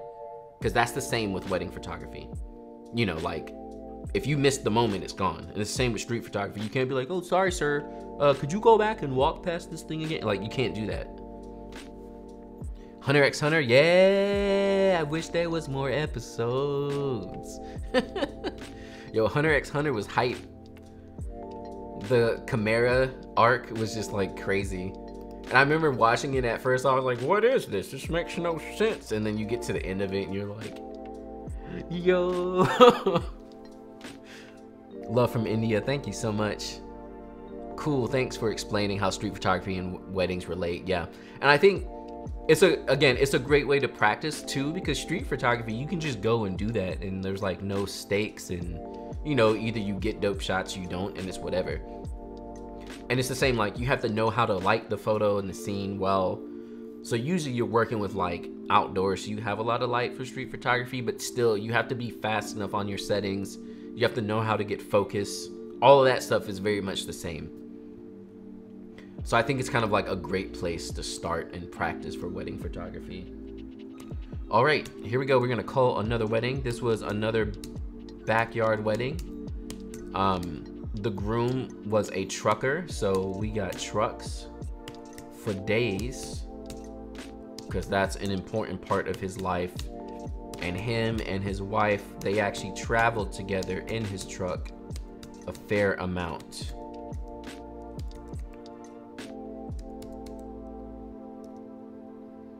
Do you own any film cameras? I do. I own a fair bit.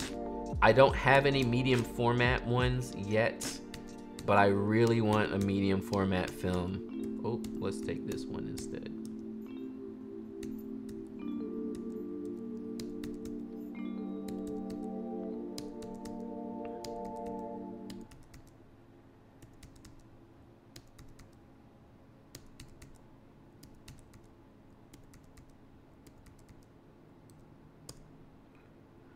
Those photos are sick sharp. Thank you, thank you.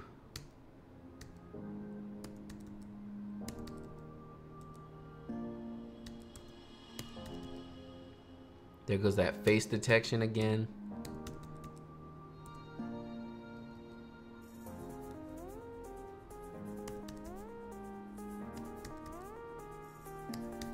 Here goes more trucks. This was a Brenizer, which I don't think I combined it yet.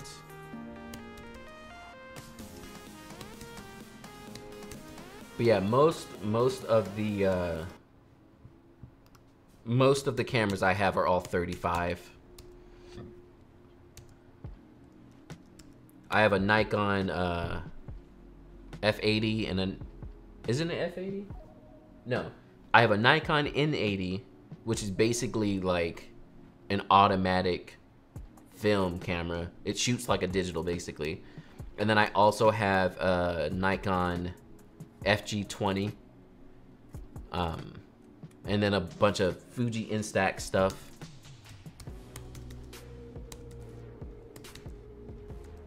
Here's another Brenizer, which I don't think I combined yet. Oh wait, this is another Brenizer.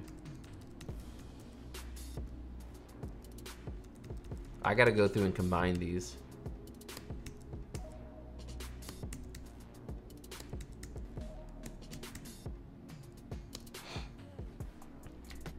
Do you use the 35 f1.4 for any events? I don't.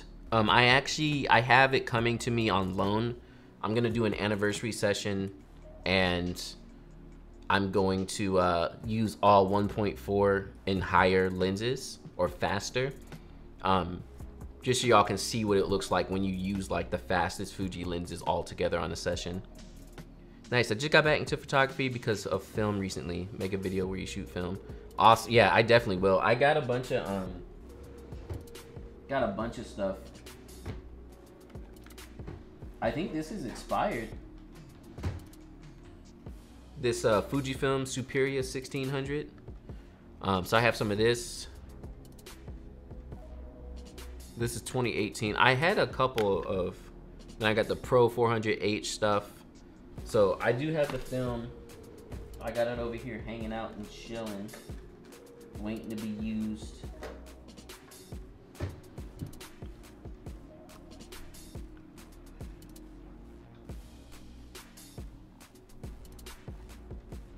Do you go much more in depth on Patreon than YouTube and is the preset free with the 20? Yeah, so on Patreon, basically the preset is free. You get it. So if you really think about it, and this this was how I was kind of trying to do it. So I do have more in-depth videos and or subjects that are a little bit more directed towards like wedding photog photography subjects. Um, so for instance, like one of the more recent ones was me doing flat lays and I like you literally watch me do the whole flat lay. Um, I also have like the family portrait section behind the scenes and I want to do more. I'm having a hard time keeping up with it to be honest. But again, as, even if you sign up for one month, the preset costs 25 bucks. When you sign up for Patreon, it's only $20. So you're getting a $5 discount basically. Um, and you can go back and see any of my content on there. And also you have a little bit more access to me on Patreon. I'll answer your questions more direct. I'll make a quick video for you if I can. Um, it's that kind of stuff, so. Thank you for that sub. Random question, but what is your advice on this? I feel like I'm a pretty good photographer and grateful for all the clients, such business I get. Sometimes I feel like I'm not good enough. So first, the first thing with that is I, I feel like at least for the majority of photographers, you're always gonna have that feeling of not feeling like you're good enough. Um, and I don't think that necessarily is a bad thing because that means that you are open to always wanting to get better, which is good. Um, you never should get into a complacent place where you're just like, ha ha, I'm the greatest. There's always something you can learn. There's always something you can get better at um, getting better and feeling like you're getting better, that's the hard part. Um, advice for that, honestly, I would say just shoot things that you're not normally shooting. Um, try out different styles of photography and also be open to learning things that you may have not wanted to do or try before. So it's the same thing I say about natural light photographers, which I'm more of a natural light photographer, you need to understand off-camera flash, you know, and you should practice it and you should learn it. Um, now, are you gonna use it at all of your weddings? Probably not, and that's fine.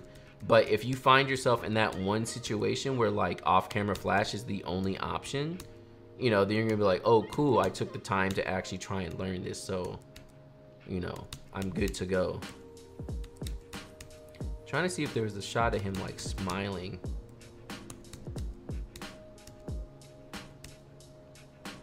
Y'all, this face detection stuff is serious. And this is the beta. This is not even like the final thing.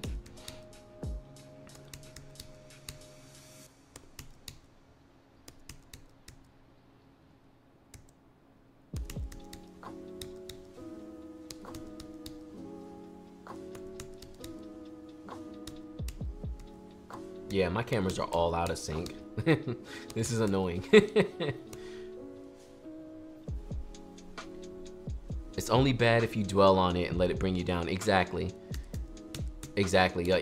If you're like stuck in a place, you're like, oh, I'm the worst and I'll never be a great photographer. That's where it's gonna be a bad thing. But if it's like you understanding that you can always get better and grow, then it's a good thing. And it'll help you stay on top of just like learning and being better rather than being complacent and be like, haha, I'm such a great photographer. There we go. Get those smiles in there.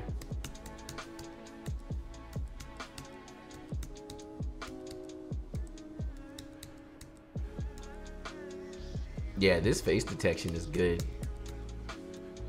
I like this a lot. Great job, narrative folks. Great job. Can confirm that feeling never goes away. It really doesn't. How do you make sure all the special moments, everything are generally stay in focus?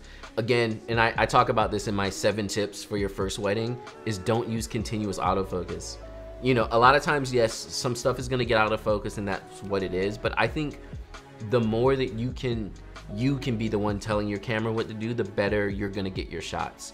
So again, everyone has the mentality of like, oh, you're not professional if you don't use, you know, if you don't shoot in manual.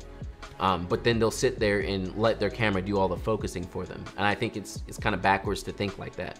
You know, if you're shooting manual so that you can shoot in Kelvin and control your exposure, you should also control your autofocus, not just turn on continuous autofocus and zone focus and expect the thing to track everything. So I usually use single point focus and I move my square wherever I wherever I need to. I'm trying to at some point um, record my EVF on a wedding day so y'all can actually see me focusing on things and see how I handle that. But um focus recompose is hype. You know, like I use that all the time. Have you ever had a customer of yours pixel peep? One of my worst fears, especially if I have to use a shot, the feeling I want it to, but not sharp. No, it's it's like rare. The only the only way you're gonna get a customer who pixel peeps is if they take like they take photos themselves as well. And at that point, it's kind of like nitpicky. Um, obviously, if a photo's like extremely out of focus, you know, at that point, it's not gonna be pixel peep, and they're just gonna be like, this photo's mad blurry. Um, but if it's a little bit out, but the emotion in the photo is really good, I've never in my seven years seen someone be like, oh, what's wrong with this photo? Like, they're just gonna see everyone like smiling and stuff and be like, wow. I know some photographers who purposely take blurry photos. Um, I've seen it before and it's actually kind of hype. like, I like it. I'm like, oh, I never even thought to like straight up just take a blurry photo, but make sure the photo is about the feel um, it's actually really cool.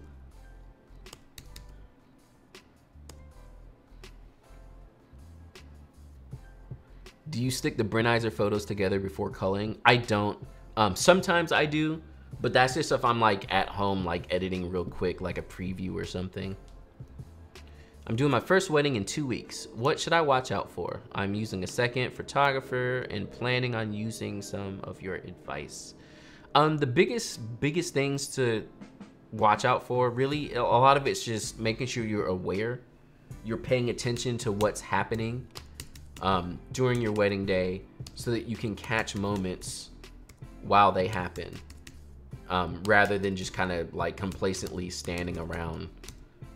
Um, even stuff like this at the ceremony, like make sure at the ceremony you're looking around because what's gonna happen ceremony time, you know, your couple's just kind of standing there. And officiant's talking, especially if you have one of those like longer ceremonies or like a Catholic church ceremony. Them things are long. But, you know, like, don't just sit there and be like, okay, they're just talking forever. Like, pay attention to people around, pay attention to people in their family. Um, because during the ceremony, they might be doing something fun or cute or something.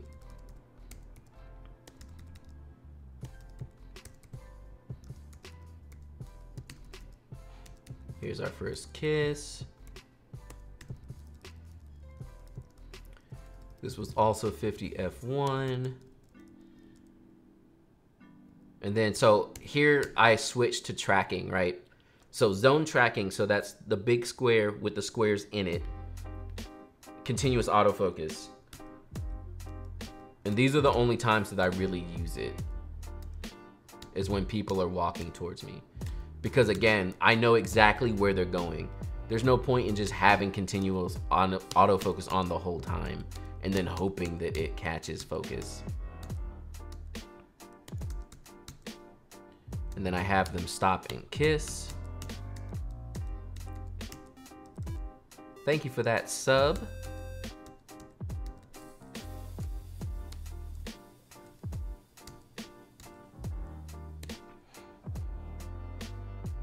Appreciate it definitely try to learn new things and keep positive mindset. I definitely think it's good because I want to keep getting exactly. Yeah, that feeling of not being good enough, it'll just make you better. Um, and you know, I can tell you over the years, especially if you keep striving for stuff, the good thing is that you'll get to a place where you'll start feeling at least much more better and confident about stuff. You won't feel so much like, oh, like I'm really not good. Um, so yeah, so here's something I normally don't do, which is backlight like this and the whole background's blown out. I'm not a fan, but again, sometimes you just have to pick what works with your location, so. I tried to do a Brenizer here, but I don't think it worked because they kept moving. Yeah, they, they kept moving.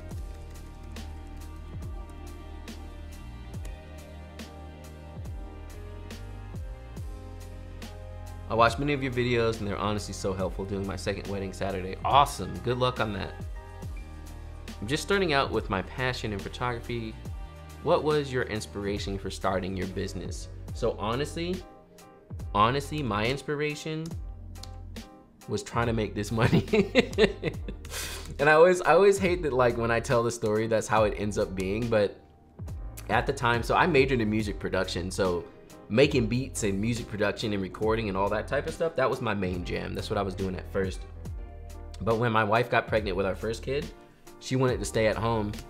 Um, and I was like, well, you know, I need another job because we can't, you know, me with one job, this ain't gonna work.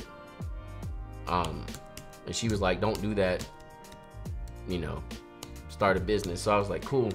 I dabbled in photography. I liked it. It was fun but I never really took it like seriously. Um,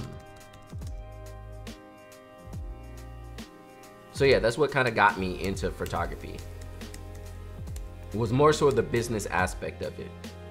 Um, but I did like photography. It's not like I just randomly was like, I'm gonna take photos.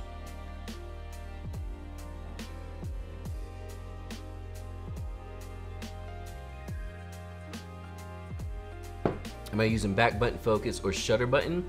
I usually use shutter button. The only time I do back button focus is if I'm using continuous autofocus. Which is again when someone's like walking towards me or away from me or something of that sort.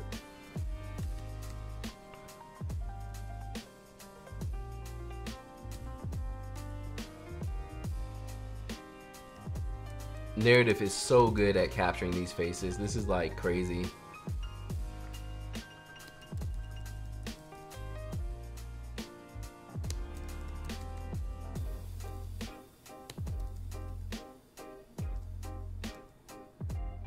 It is crazy to see this. It is so good.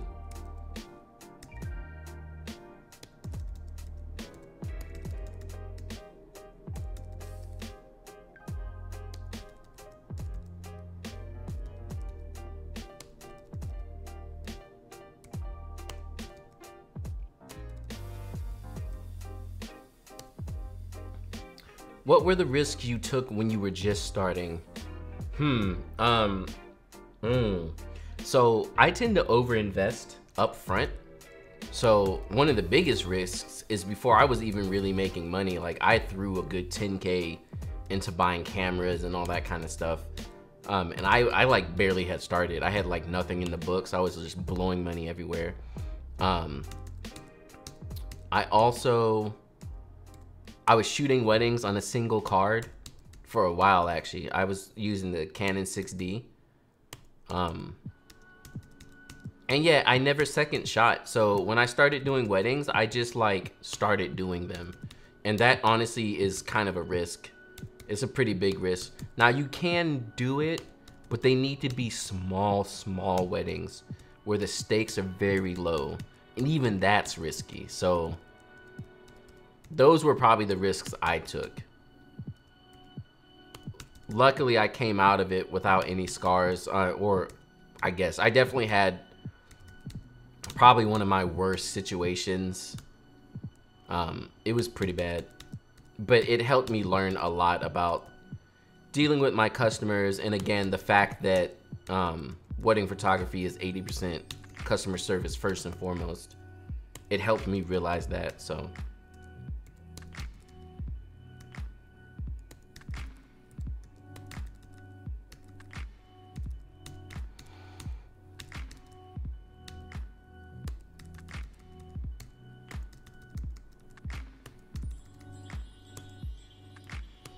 good old hashtag photos.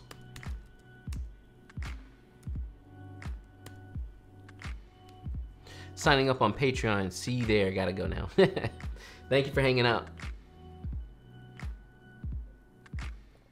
Do you stick to shooting horizontal most of the time or do you just mix it up? Some of my vertical shots come out out of focus about 20% of the time. I generally will shoot horizontal, but depending on what it is and if I have time, I'll definitely try and get a vertical in there as well. So you saw with a lot of those family shots, especially when it's like two people, I'll get horizontal and vertical. What is the best kit lens for the X-T4 in your opinion? I think it's that 18 to 55. I actually was considering buying one. We did the same thing. Our first wedding would have been one of our most beautiful if we knew what we were doing. yeah it's like jumping into stuff too early, which you can definitely learn some stuff, but the risk you're running is is scary.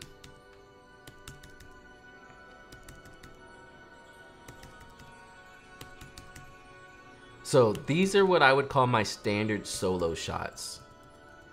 So, you know, full body bride, vertical, horizontal, close up bride, ho vertical, horizontal. Get her looking off to the side, vertical, horizontal. Get a shot of the bouquet, vertical, horizontal. With the bouquet, when it's vertical, look down, give it a smile. Close-ups of some details. We didn't do any getting ready photos for this wedding, so here's her necklace. Her earrings are kind of in there. You see the ring, you see her hand. Here's another one. Here's the earring, close up in there.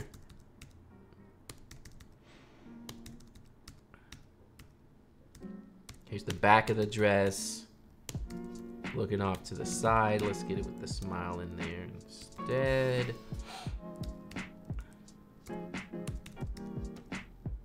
So yeah, just remember you can get a lot of poses out of like one location and you don't have to think of like you know all kinds of crazy because that's i think a lot of people get scared of posing because they're like oh i don't know how to pose and i have to do all these things and really like literally like moving a hand and arm like to one little place or a head changes the whole pose. So keep that in mind.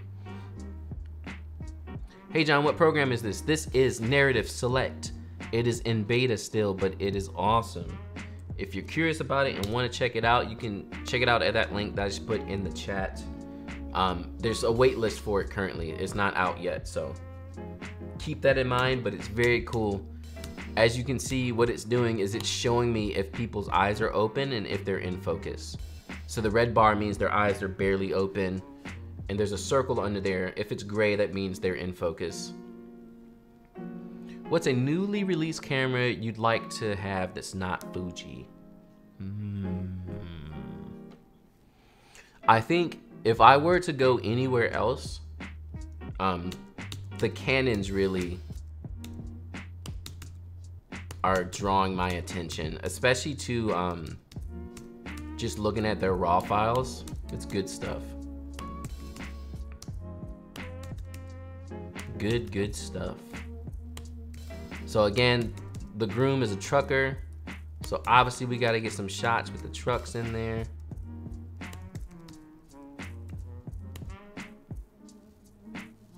What do you use to send your pictures? I use Pic-Time. Pic-Time is my absolute favorite. Oh, I think I did a Brenizer of that too, yeah. Did I did I combine this one already? I don't know.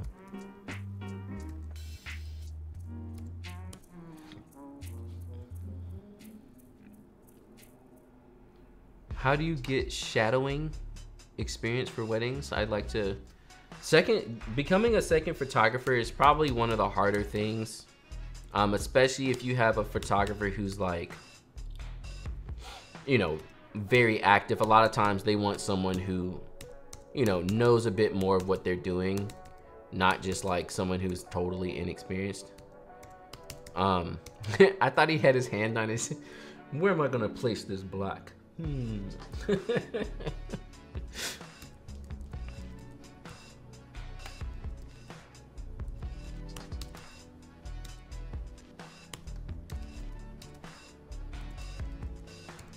But yeah, the main thing is reach out to photographers. Um, but you know, just ask them how you can help. And don't don't come at it like, hey, I want a second photograph for you. Just be like, can I just be an assistant and hang out and help you out, carry bags or something? And you know, if I'm able to take pictures, that would be great because I want to get some practice in. Because thinking that you, without practice, are gonna be able to be a second photographer is just unrealistic. Most photographers are gonna be like, you have no idea what you're doing. I can't trust the photos you're gonna take. But if you're like, I can carry your bags and if you don't mind me taking some photos while I'm there, that's much more realistic. So being like an assistant or a third is much more realistic.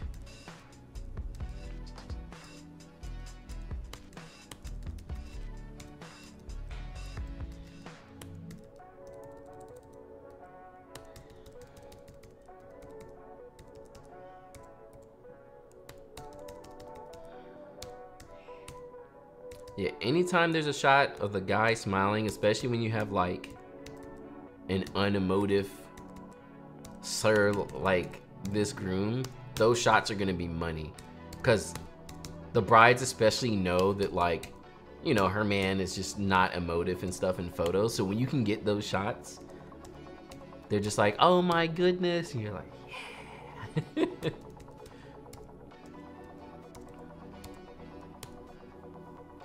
You probably get this question almost every day, but do you recommend a good beginner's camera? I want to start photographing my friends who DJ, love the channel.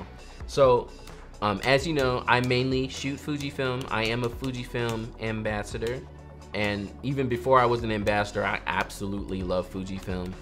Um, a great starter camera, so their XT double series, so like XT30 is a great place to start. Um, or the new one that they just announced, the XS 10 um, is really, it looks really good. But basically for starter cameras, you just need something where you can work with and understand exposure and light because that's really the point. Um, a lot of times, you know, people will sit here and talk about, oh, this camera is better and cameras and you got to spend all this money on cameras and stuff. First and foremost, you just need something that you can use to understand light. That's what you want to learn learn how cameras work, learn how light works. Because if you don't know that, no matter how expensive your camera is, your photos are gonna be bad. Um, the cameras aren't what make the good photos. So even um, thinking of things as like a starter camera, it's kind of half and half. Like the only reason it's a starter camera is because it's cheaper and that's it. You know, like you don't have to have the latest whatever. Um, but other than that, yeah, that XS10 is looking nice. Or something like an XT20 or XT2, you know, go back older in your cameras as well. So here's a cool tip that I usually do. Um, a lot of times, you know how everyone's like clinking the glass, getting the couple to kiss, and then everyone's looking at you and like, take the photo. When the couple first sits down at their sweetheart table, I have them do a kiss for me at the sweetheart table so it looks like in the photos that I did get one of those old people are clinking the glass and they kissed. Um, I get it real quick first when they sit down so that then when food starts, when eating starts, I'm not bothering anybody. You know what I'm saying? Get this in. Okay, y'all eat. I'll go chill. I'll go eat, and we'll all chill, and it'll be fine. Rather than waiting for you know guests to clink the glass and oh kiss kiss and then me come you know just get the shot. Because again photos are a moment in time and photos take things out of context.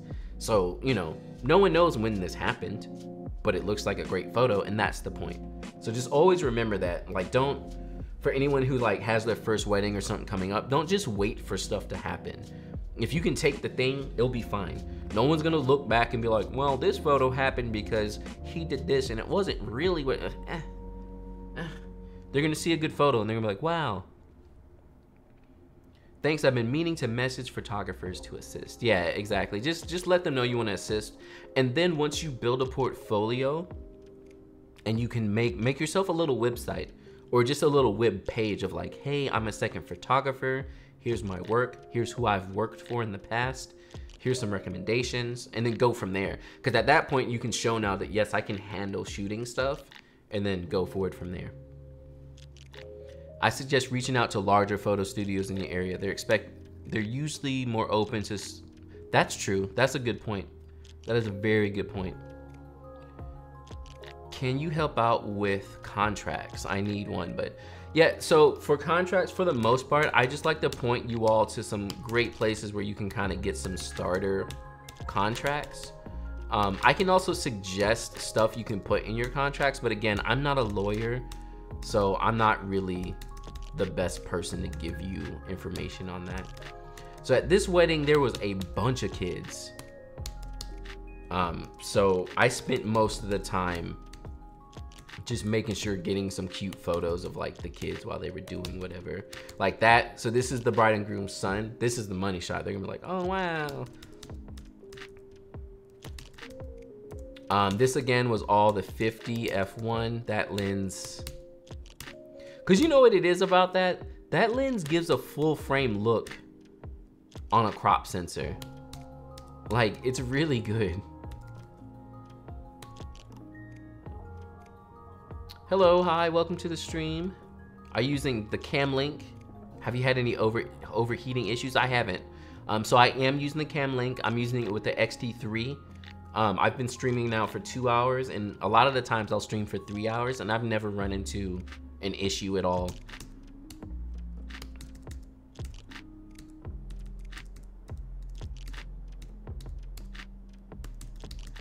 So these are just speeches pretty straightforward. I love how narrative selects is just showing the faces. It's like so good. Cause then especially if you're like culling from the same scene, you already know that everything's pretty much good. So yeah, a photo like this that's out of focus, obviously his beard is what's in focus. I'll still send this. I'll probably black and white it, but it's fine. How do you approach an unenthusiastic bridesmaid? For instance, I had a bridesmaid who would say, I'm done walking, as the other 10 bridesmaids were having a great time.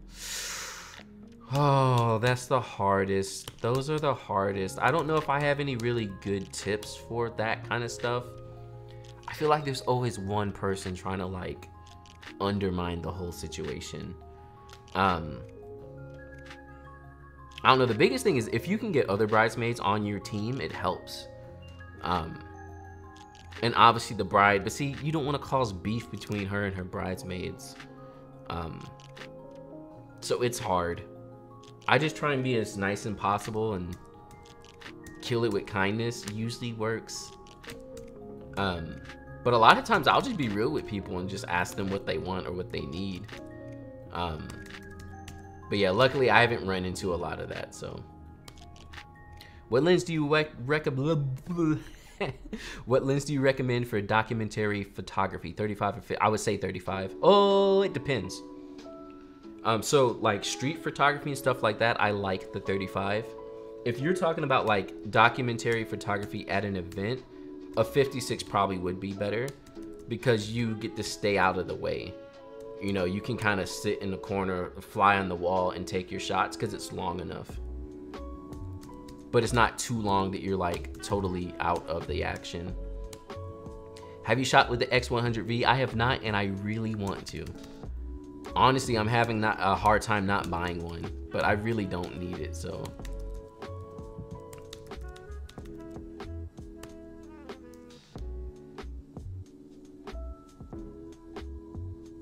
Oh yeah, Mark, we're sorry. We'll be done soon. Yeah, it's just, it's a lot of that, you know, just, and that goes back to wedding photography being 80% customer service.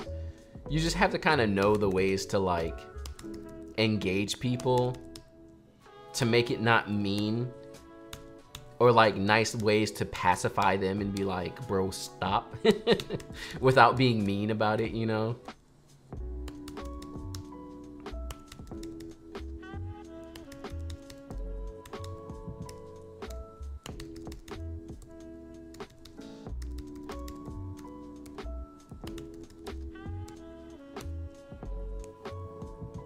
There's always one person trying to undermine. I mean, there really, there really is. Actually, and thank you for that sub. In one of in one of my full wedding day videos, it almost kind of happened to me where we were gonna take like a bridesmaid robe shot on the bed, and I was asking one bridesmaid to move somewhere, and she was straight up like, "Nah, I'm not doing it," and I was like, "Oh." um, it's in the uh, the full wedding day, the New York one. Let me see if I can find it for y'all real quick.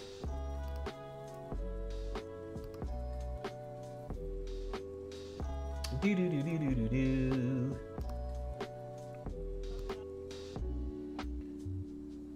That's why I actually I put the text on the screen. Yeah. Oh, Ads everywhere. So many ads. What is this, John? Beta culling? You've never heard of beta culling? uh, this is a Narrative Select. It's a new app by Narrative. And it has face detection, AI face detection. Yeah. So here on this video, which I linked the exact second, you can hear the bridesmaid basically tell me no. Um, and obviously it's not as bad as them like trying to undermine the whole situation, but it definitely was kind of like, oh dang. Um, and yeah, it it worked out and it was fine, but um, but yeah. So first off, Reggie's in the house. Y'all go follow him. Check out his YouTube channel. Reggie's awesome. He's also a Fujifilm creator. But um, yeah. So Reggie, this is a culling program, so basically a competitor to Photo Mechanic, but it'll tell you if eyes are closed and if the face is in focus or not. So for general culling, it's pretty cool, but for family portraits and stuff, it is beastie. Which I can go back real quick to some family photos just to show you how it kind of... Wow, there's that many photos? I've culled this much. Maybe I won't go back. but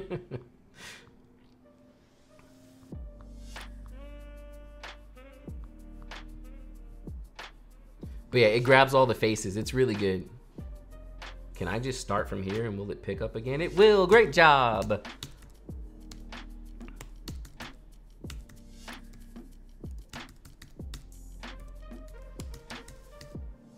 So yeah, yellow means the eyes are closed or basically closed. Red dot means it's not in focus.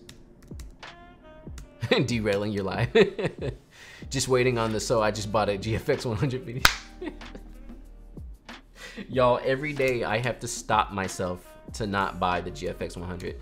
Oh, so here's, I don't know if Lewis or Louise, I can't remember if he's still in the chat, but this is a great example of like, do you have couples who, or clients who pixel peep? This is clearly out of focus um, but it's still getting delivered because of the feeling and it'll be fine. And at at worst I'll black and white it. Because this is when I caught the focus again and this is not a good shot so. You know sometimes there's gonna be slightly soft photos and it's it's okay. It's not gonna hurt nobody. Especially if the emotion in the photo was good. But look at look at this thing grabbing all the faces. Look at that. It even got her in the back here drinking you know, like, crazy.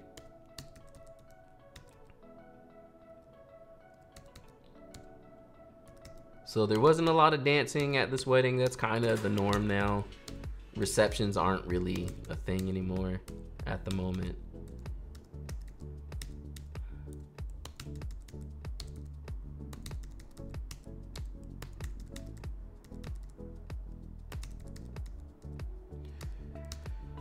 I generally don't shoot receptions like this with like a long lens. Um, I'll generally shoot with a wide lens and get closer, but again, this is like not the normal situation anymore, so. I'm just kind of shooting things as they happen.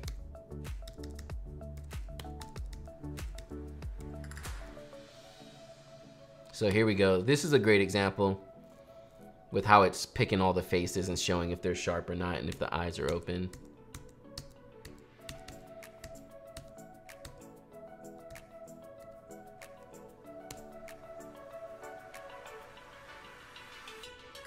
That bridesmaid, I would rather not. I'm notorious for hitting them back with a sarcastic, well, yeah, right? That's really honestly too, like it's sarcastic and kind of like underhanded saying something like that is like, well, it is your day. Like, I mean, depending on your bride, she might be like, uh, yeah, you know, and then, and then it becomes an ordeal, which we don't want, but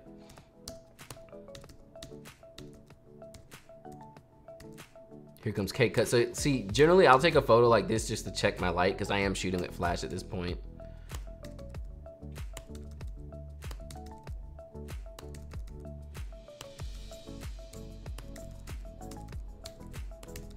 And then generally for this stuff, I'm just looking for emotions and things.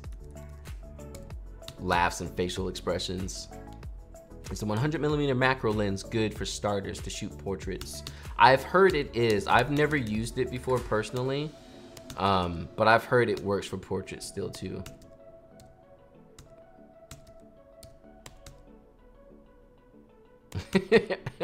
I love cake cutting photos because I send those too. Just thinking like, oh, what was I doing with my mouth? Those are always fun photos.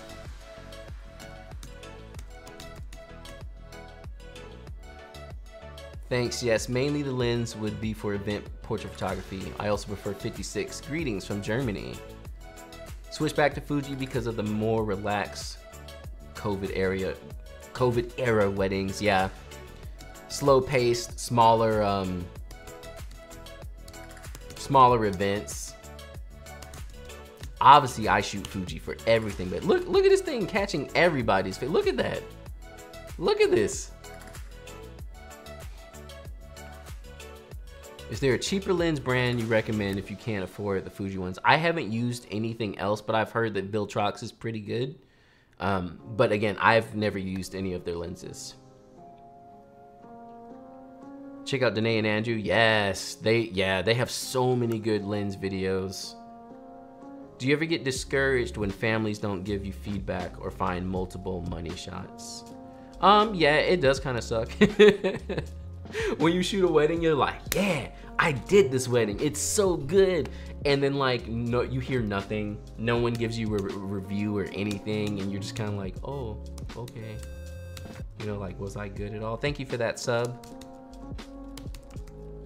You're like, I did my best. Don't you like my photos? You deliver the photos. My wife's like, did you hear anything back from the couple? No. You know, I sent the photos and then that's it. I don't hear from them anymore.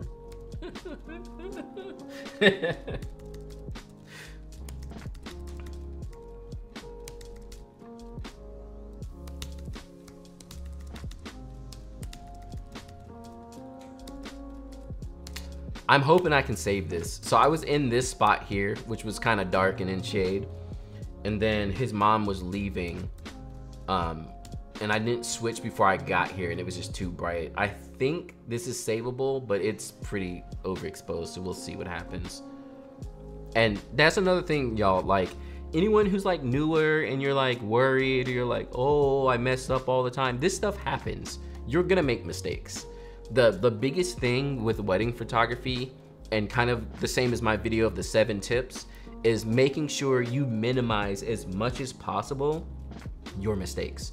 Your mistakes should be small mistakes. They should be one-off shots like this. You know, that shouldn't be the majority of your photos.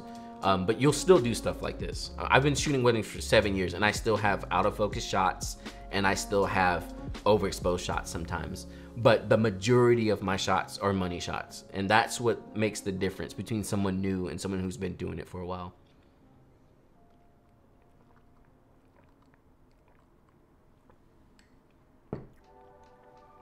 Do you ask permission for the customer to post on your social media? No, I do not. Um, well, technically it is in the contract. So when they sign a contract, they're signing um, a model release and also copyright. So I can use the photos however I need to and want to. Sometimes couples will request that, that their photos aren't shown at all. And when that happens, then there's like a kind of like a basically a non-disclosure agreement um, and then I'll charge extra for that because you know I lose a wedding that I can show for my portfolio which can also bring in more work good weddings always got to have a shot make sure you pay attention to what's going on and try and get these pictures thoughts on the new XS10 I think it's hype I think it looks like the new YouTuber's camera. Um, I want to try one. it looks really awesome.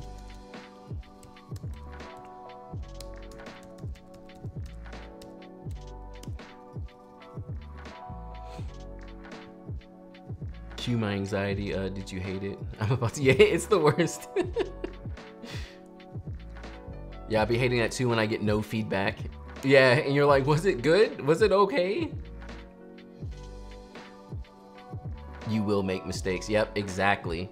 And that's the biggest thing. I know a lot of new new wedding photographers or people to weddings, they're like they're so concerned about making mistakes.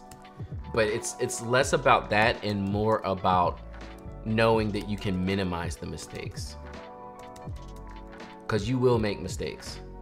They they happen. They always happen there's always I come away from the majority of my weddings with like a ah I should have did that or ah I could have done that better or like ah I made the wrong choice here. It happens like nearly every wedding, but those things are so minuscule in the grand scheme you know and they're not things that like my couples are gonna be like oh no you know like as long as you don't have things that are gonna destroy your whole couple's lives and they're gonna be they're gonna feel like they didn't get good service as long as you don't have that, you're good, you know? XS10 is to be the vlogging beast. Yeah, exactly. Exactly. The XS10 is to be so good. Do you store all of your photos after you send them to your clients? I do. So I basically have a, um, so first I have where I import all my RAWs. So I have that. I have a backup drive that also has backups of the RAW. So I have two copies of the RAWs. And then I have another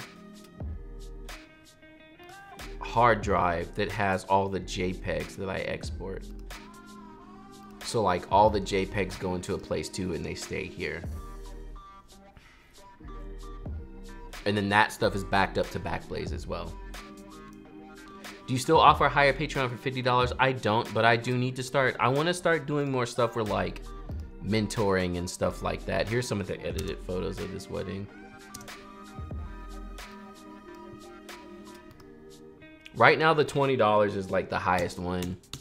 Um, and you get the preset for free, so really, it's a pretty good deal. I'm a Sony shooter, and even I want the XS10. Your worst wedding experience. Um, I've talked about it once or twice. My worst wedding experience actually was post-wedding. It wasn't during the wedding. Um, I, I had a bride who ended up, once the photos were delivered, I don't I don't know why or what happened, but she just basically was like, these photos suck. Are they even edited? You know, I can edit these on my iPhone if you need me to, and all kinds of craziness. And um, Oh, I think this was be Brenizer. Yeah.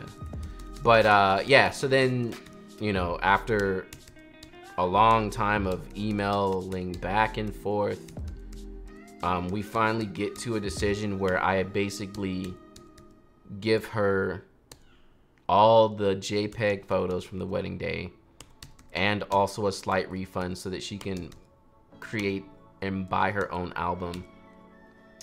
And even after all of that, she tries to print a photo and she's like, hey, I tried to print this and it looks horrible. And I'm like, well, you know, there's a lot that could go into a bad print. So I'm not sure how you printed it or what you were doing. And yeah, she started doing chargebacks on her credit card. It was the worst. Um, every time she did a chargeback on her credit card, she did it on like a holiday or something too. Or like the day before a holiday. It was the absolute worst. Um, so yeah, she stole half her money back. I ended up not taking her to court, but I was definitely like, hey, if you continue, we might have to like do something about this because technically she was voiding out her contract and I did do what I was supposed to deliver. And it was one of my best weddings at the time. Um, so yeah, that was my worst experience. It was the worst. It messed me up, y'all. I was like beside myself. It's one of those things that made me, you know, consider like quitting photography. It was horrible. Which is why for my seven tips for your first wedding, the first thing I talk about is pre-wedding communication. That's what I learned from that experience is um, how important pre-wedding communication is. Cause, you know, I don't like to blame anybody for anything. Like I could easily be like, oh, she was crazy, but I don't, you know, I don't want to do that. So the only thing I can equate what happened to is the fact that um, we weren't on the same page about how I photograph things and how I edit things and how I capture things. And I wasn't really what she wanted as a photographer. She was just like, oh, he takes photos and he's good and the price is fine, book him. Um, you want to stay away from couples like that. And it's nothing against them and it's nothing against you, but if you're not 100% gonna meet their needs, it's better for everyone that y'all just don't work together. Um, so I had to learn that the hard way but it, it definitely improved overall my approach. Um, no, no, no, no, no. Hi, I'm a college student who has recently started a new business. Should I invest in lights? And what do you recommend with medium budget? Definitely invest in lights. Um, if you're doing any, if you're doing wedding photography, especially, you definitely need lights. You at least need some speed lights. I use the V, the Godox V uh, 860s or something of that sort. Um, in this shot, and I have a video about it, um, which I can find y'all that video as well. I use this little LED light that I have.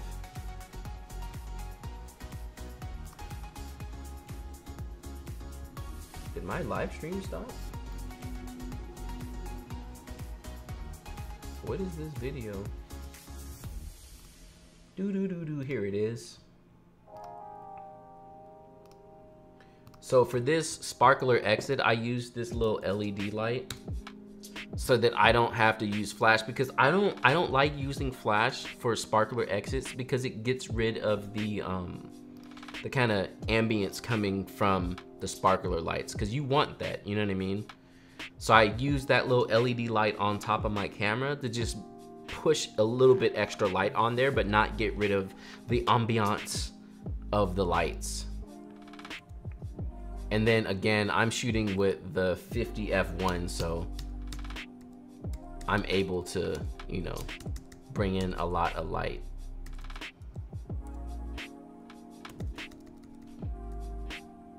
Yeah, you can see it when I get closer to them. You see how it gets brighter because they're closer to the light source.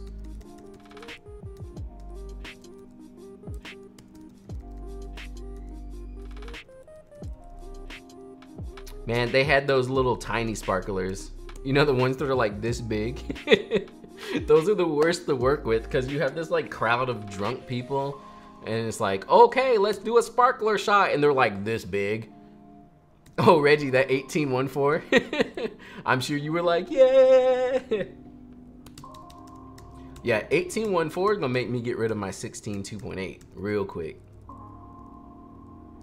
Um, this couple, I think they got engaged at that wedding, and I took this picture for them and I gave it to them. So I'm hoping they remember who I am. and when they're looking for somebody. Then they started shooting off fireworks and they scared all the kids because they were shooting them like right there and it was mad loud. cool, so that's that one. I culled 481 photos. Yep, I'm liking this program, y'all. That face detection stuff is legit. It is so good. It is so good. Look, look at that again. Uh-oh. Did we hit a weird beta function? There it goes, guys. It's it's still in beta. Your photos are amazing. Thank you so much. Yeah. And I mean, like it, it, like I said again, it was one of my best weddings back then. So there should be a law against getting engaged at someone's wedding. I mean, yeah, it is kind of like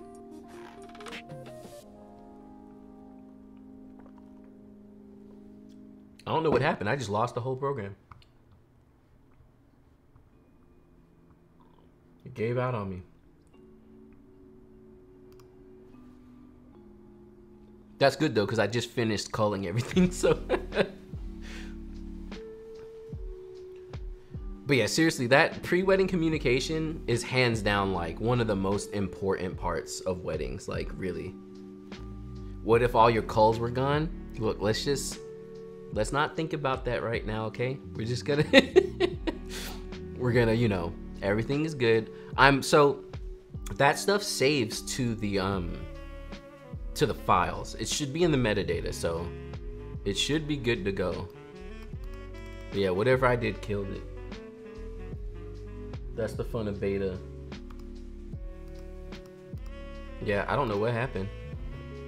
Either way, I was gonna have to try and figure it out because yeah, it's in the XMP data at this point, but all of my stuff in Lightroom is on the Windows side of my computer, not the Mac. So I have to restart the computer anyway to see if it's gonna work. So that's what it is. I was wondering, did you miss full frame in any situation? I did not whatsoever. So I was shooting on the Canon 6D, which is full frame. It was like their entry level full frame at the time. Um, and yeah, no, I moved to Fuji like immediately and was totally happy with the way it looked. Um, and I still am. Did you sync cameras in the program? I wasn't there for that. Um, no, so this stuff was already imported and then I basically just culled the stuff. Then I have to sync it back to Lightroom. But yeah, my two cameras are always in sync for the most part. I have the timing about the same. Big shout out from VA. VA, neighbors to NC. I did a shoot with a young man running for mayor of Raleigh a few weeks. Oh, nice. F in the chat for the one dude who's going to propose the wedding. yeah, the 6D was so good. It was like such a weird camera too, because it was like Canon was like, you know, we have the 5D Mark III and all this great stuff, but we're also gonna basically make a little baby 5D Mark III that's cheaper. It was so good. Actually, the other day I was going through some of my old photos and I was like, yo, it's been so long since I've looked at this stuff. Uh, 2016, take you back in the day have you look at some of my old stuff. I don't even remember. I don't remember what any of this stuff is. Oh, this was a cool engagement shoot.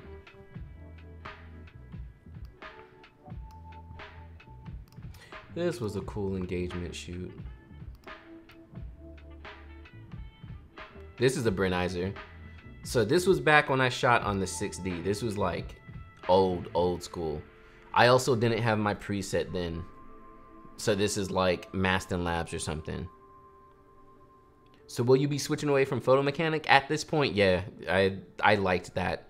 There's only a couple of things that I didn't like, but so far this looks good. And it sounds like it's gonna be able to do the same process that I do with Photo Mechanic anyway. I still use the 60 as my second camera. Yeah, it's a great camera.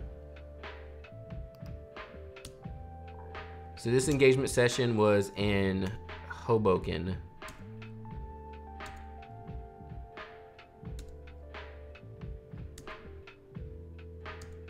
And yeah, you can see my style didn't really change too much. I still shoot very much the same. The biggest difference is the backgrounds are blurred out a little bit more, but it still very much looks like me. Um, I started shooting wider when I moved to Fuji. I think this was the, uh, what lens is that? The 105 or something? 110? I can't remember what lens that was.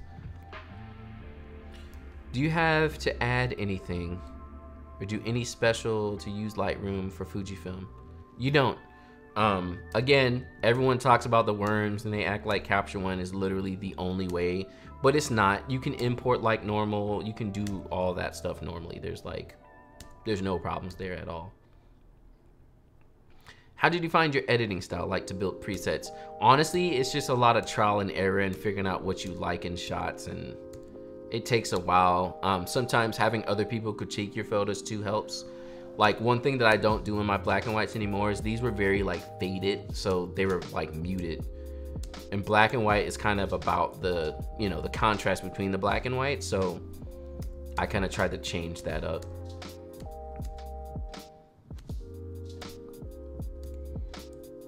Blast from the past. It's been so long.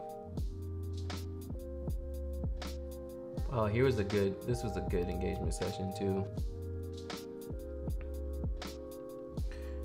I did a little Photoshop magic here because the words yes, love, and the heart were actually up here on the sign, but it was like a, it was a whole sign about something.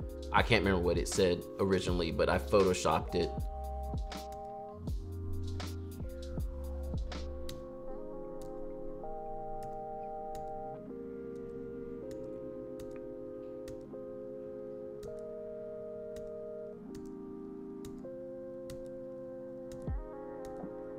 But yeah, this was a fun session. This was a while ago too. But yeah, you can tell a lot of my wide shots, I wasn't really shooting wide. Like I stayed on a 50 and like a 110 all the time back in the day. And then when I moved to Fuji, I started shooting wider. So then all my like wide shot Wednesday and all that stuff, that's all thanks to Fujifilm.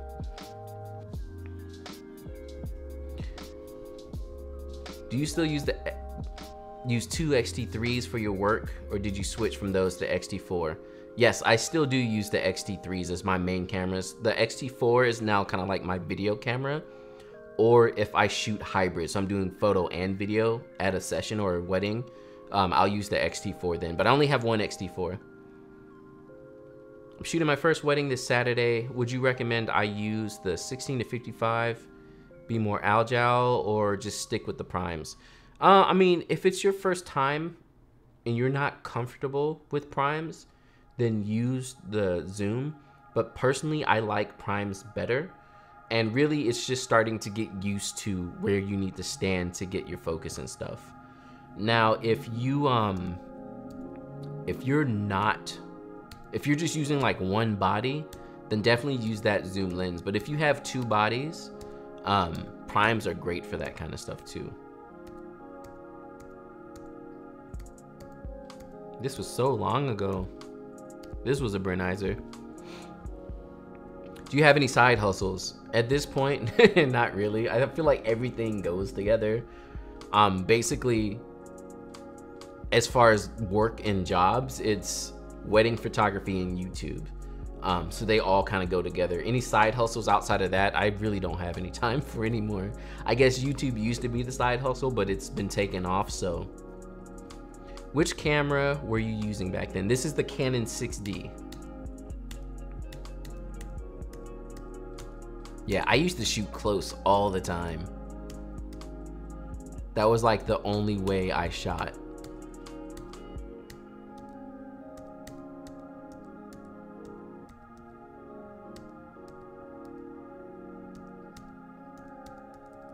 Oh, is that a GIF?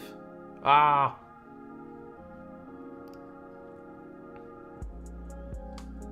How cool. The shutter was so slow. I do GIFs now on the Fuji films and it's like, they're basically videos. Are there any issues with cropping on Fuji? There's not. Obviously, you shouldn't be cropping heavily since it's only 26 megapixels, but I crop, I crop fairly often actually. I have one body, X-T3. However, I have, I may take the X100V as a second body. Oh, see, and that's what you can do. So if you're on an X-T3 and the, if you're okay with the quality of the X100V, which I've never used, you could use the X100V as your wide lens, so like your 23, and then have the X-T3 for your tele camera. Because that's usually how I do it. One camera is wide and the other is tight. And so then basically you can be like, okay, my X-T3 will take on my 35 and 56 photos, and then the X100V will be for the wide stuff. What about Fuji makes you shoot wider? I don't know. Fuji just made me like see things totally differently. Um, it's, it just changes the whole approach. Like it, it really, it's, it's so good. So, so good. All right, y'all. Thinking that's about it. It looks like narrative gave out on me, but again, this is the beta, so it actually did great. It just handled like two and a half hours of culling. I culled three weddings, so everything was great. I love the program, and again, I'll try and link y'all. Let me link y'all to that again. If you're curious about checking out Narrative Select, definitely check it out there. Um, again, there's a wait list for it, but you saw it here. It's a great program for culling. And the face detection stuff is absolutely amazing for family photos. So thanks again for hanging out. And again, thanks for subscribing and all the likes. And we're gonna be doing a 50K stream sometime soon. I'm still trying to figure out all the details for it, so it won't be immediately when I hit 50K, because I think that's actually coming up soon. But um, I'm hoping to do a studio session, natural light studio, and tether so y'all can see me taking the photos and we'll just hang out and stuff, answer questions and cool things like that. So again, thank you all for hanging out and I will catch you next time. All right, peace.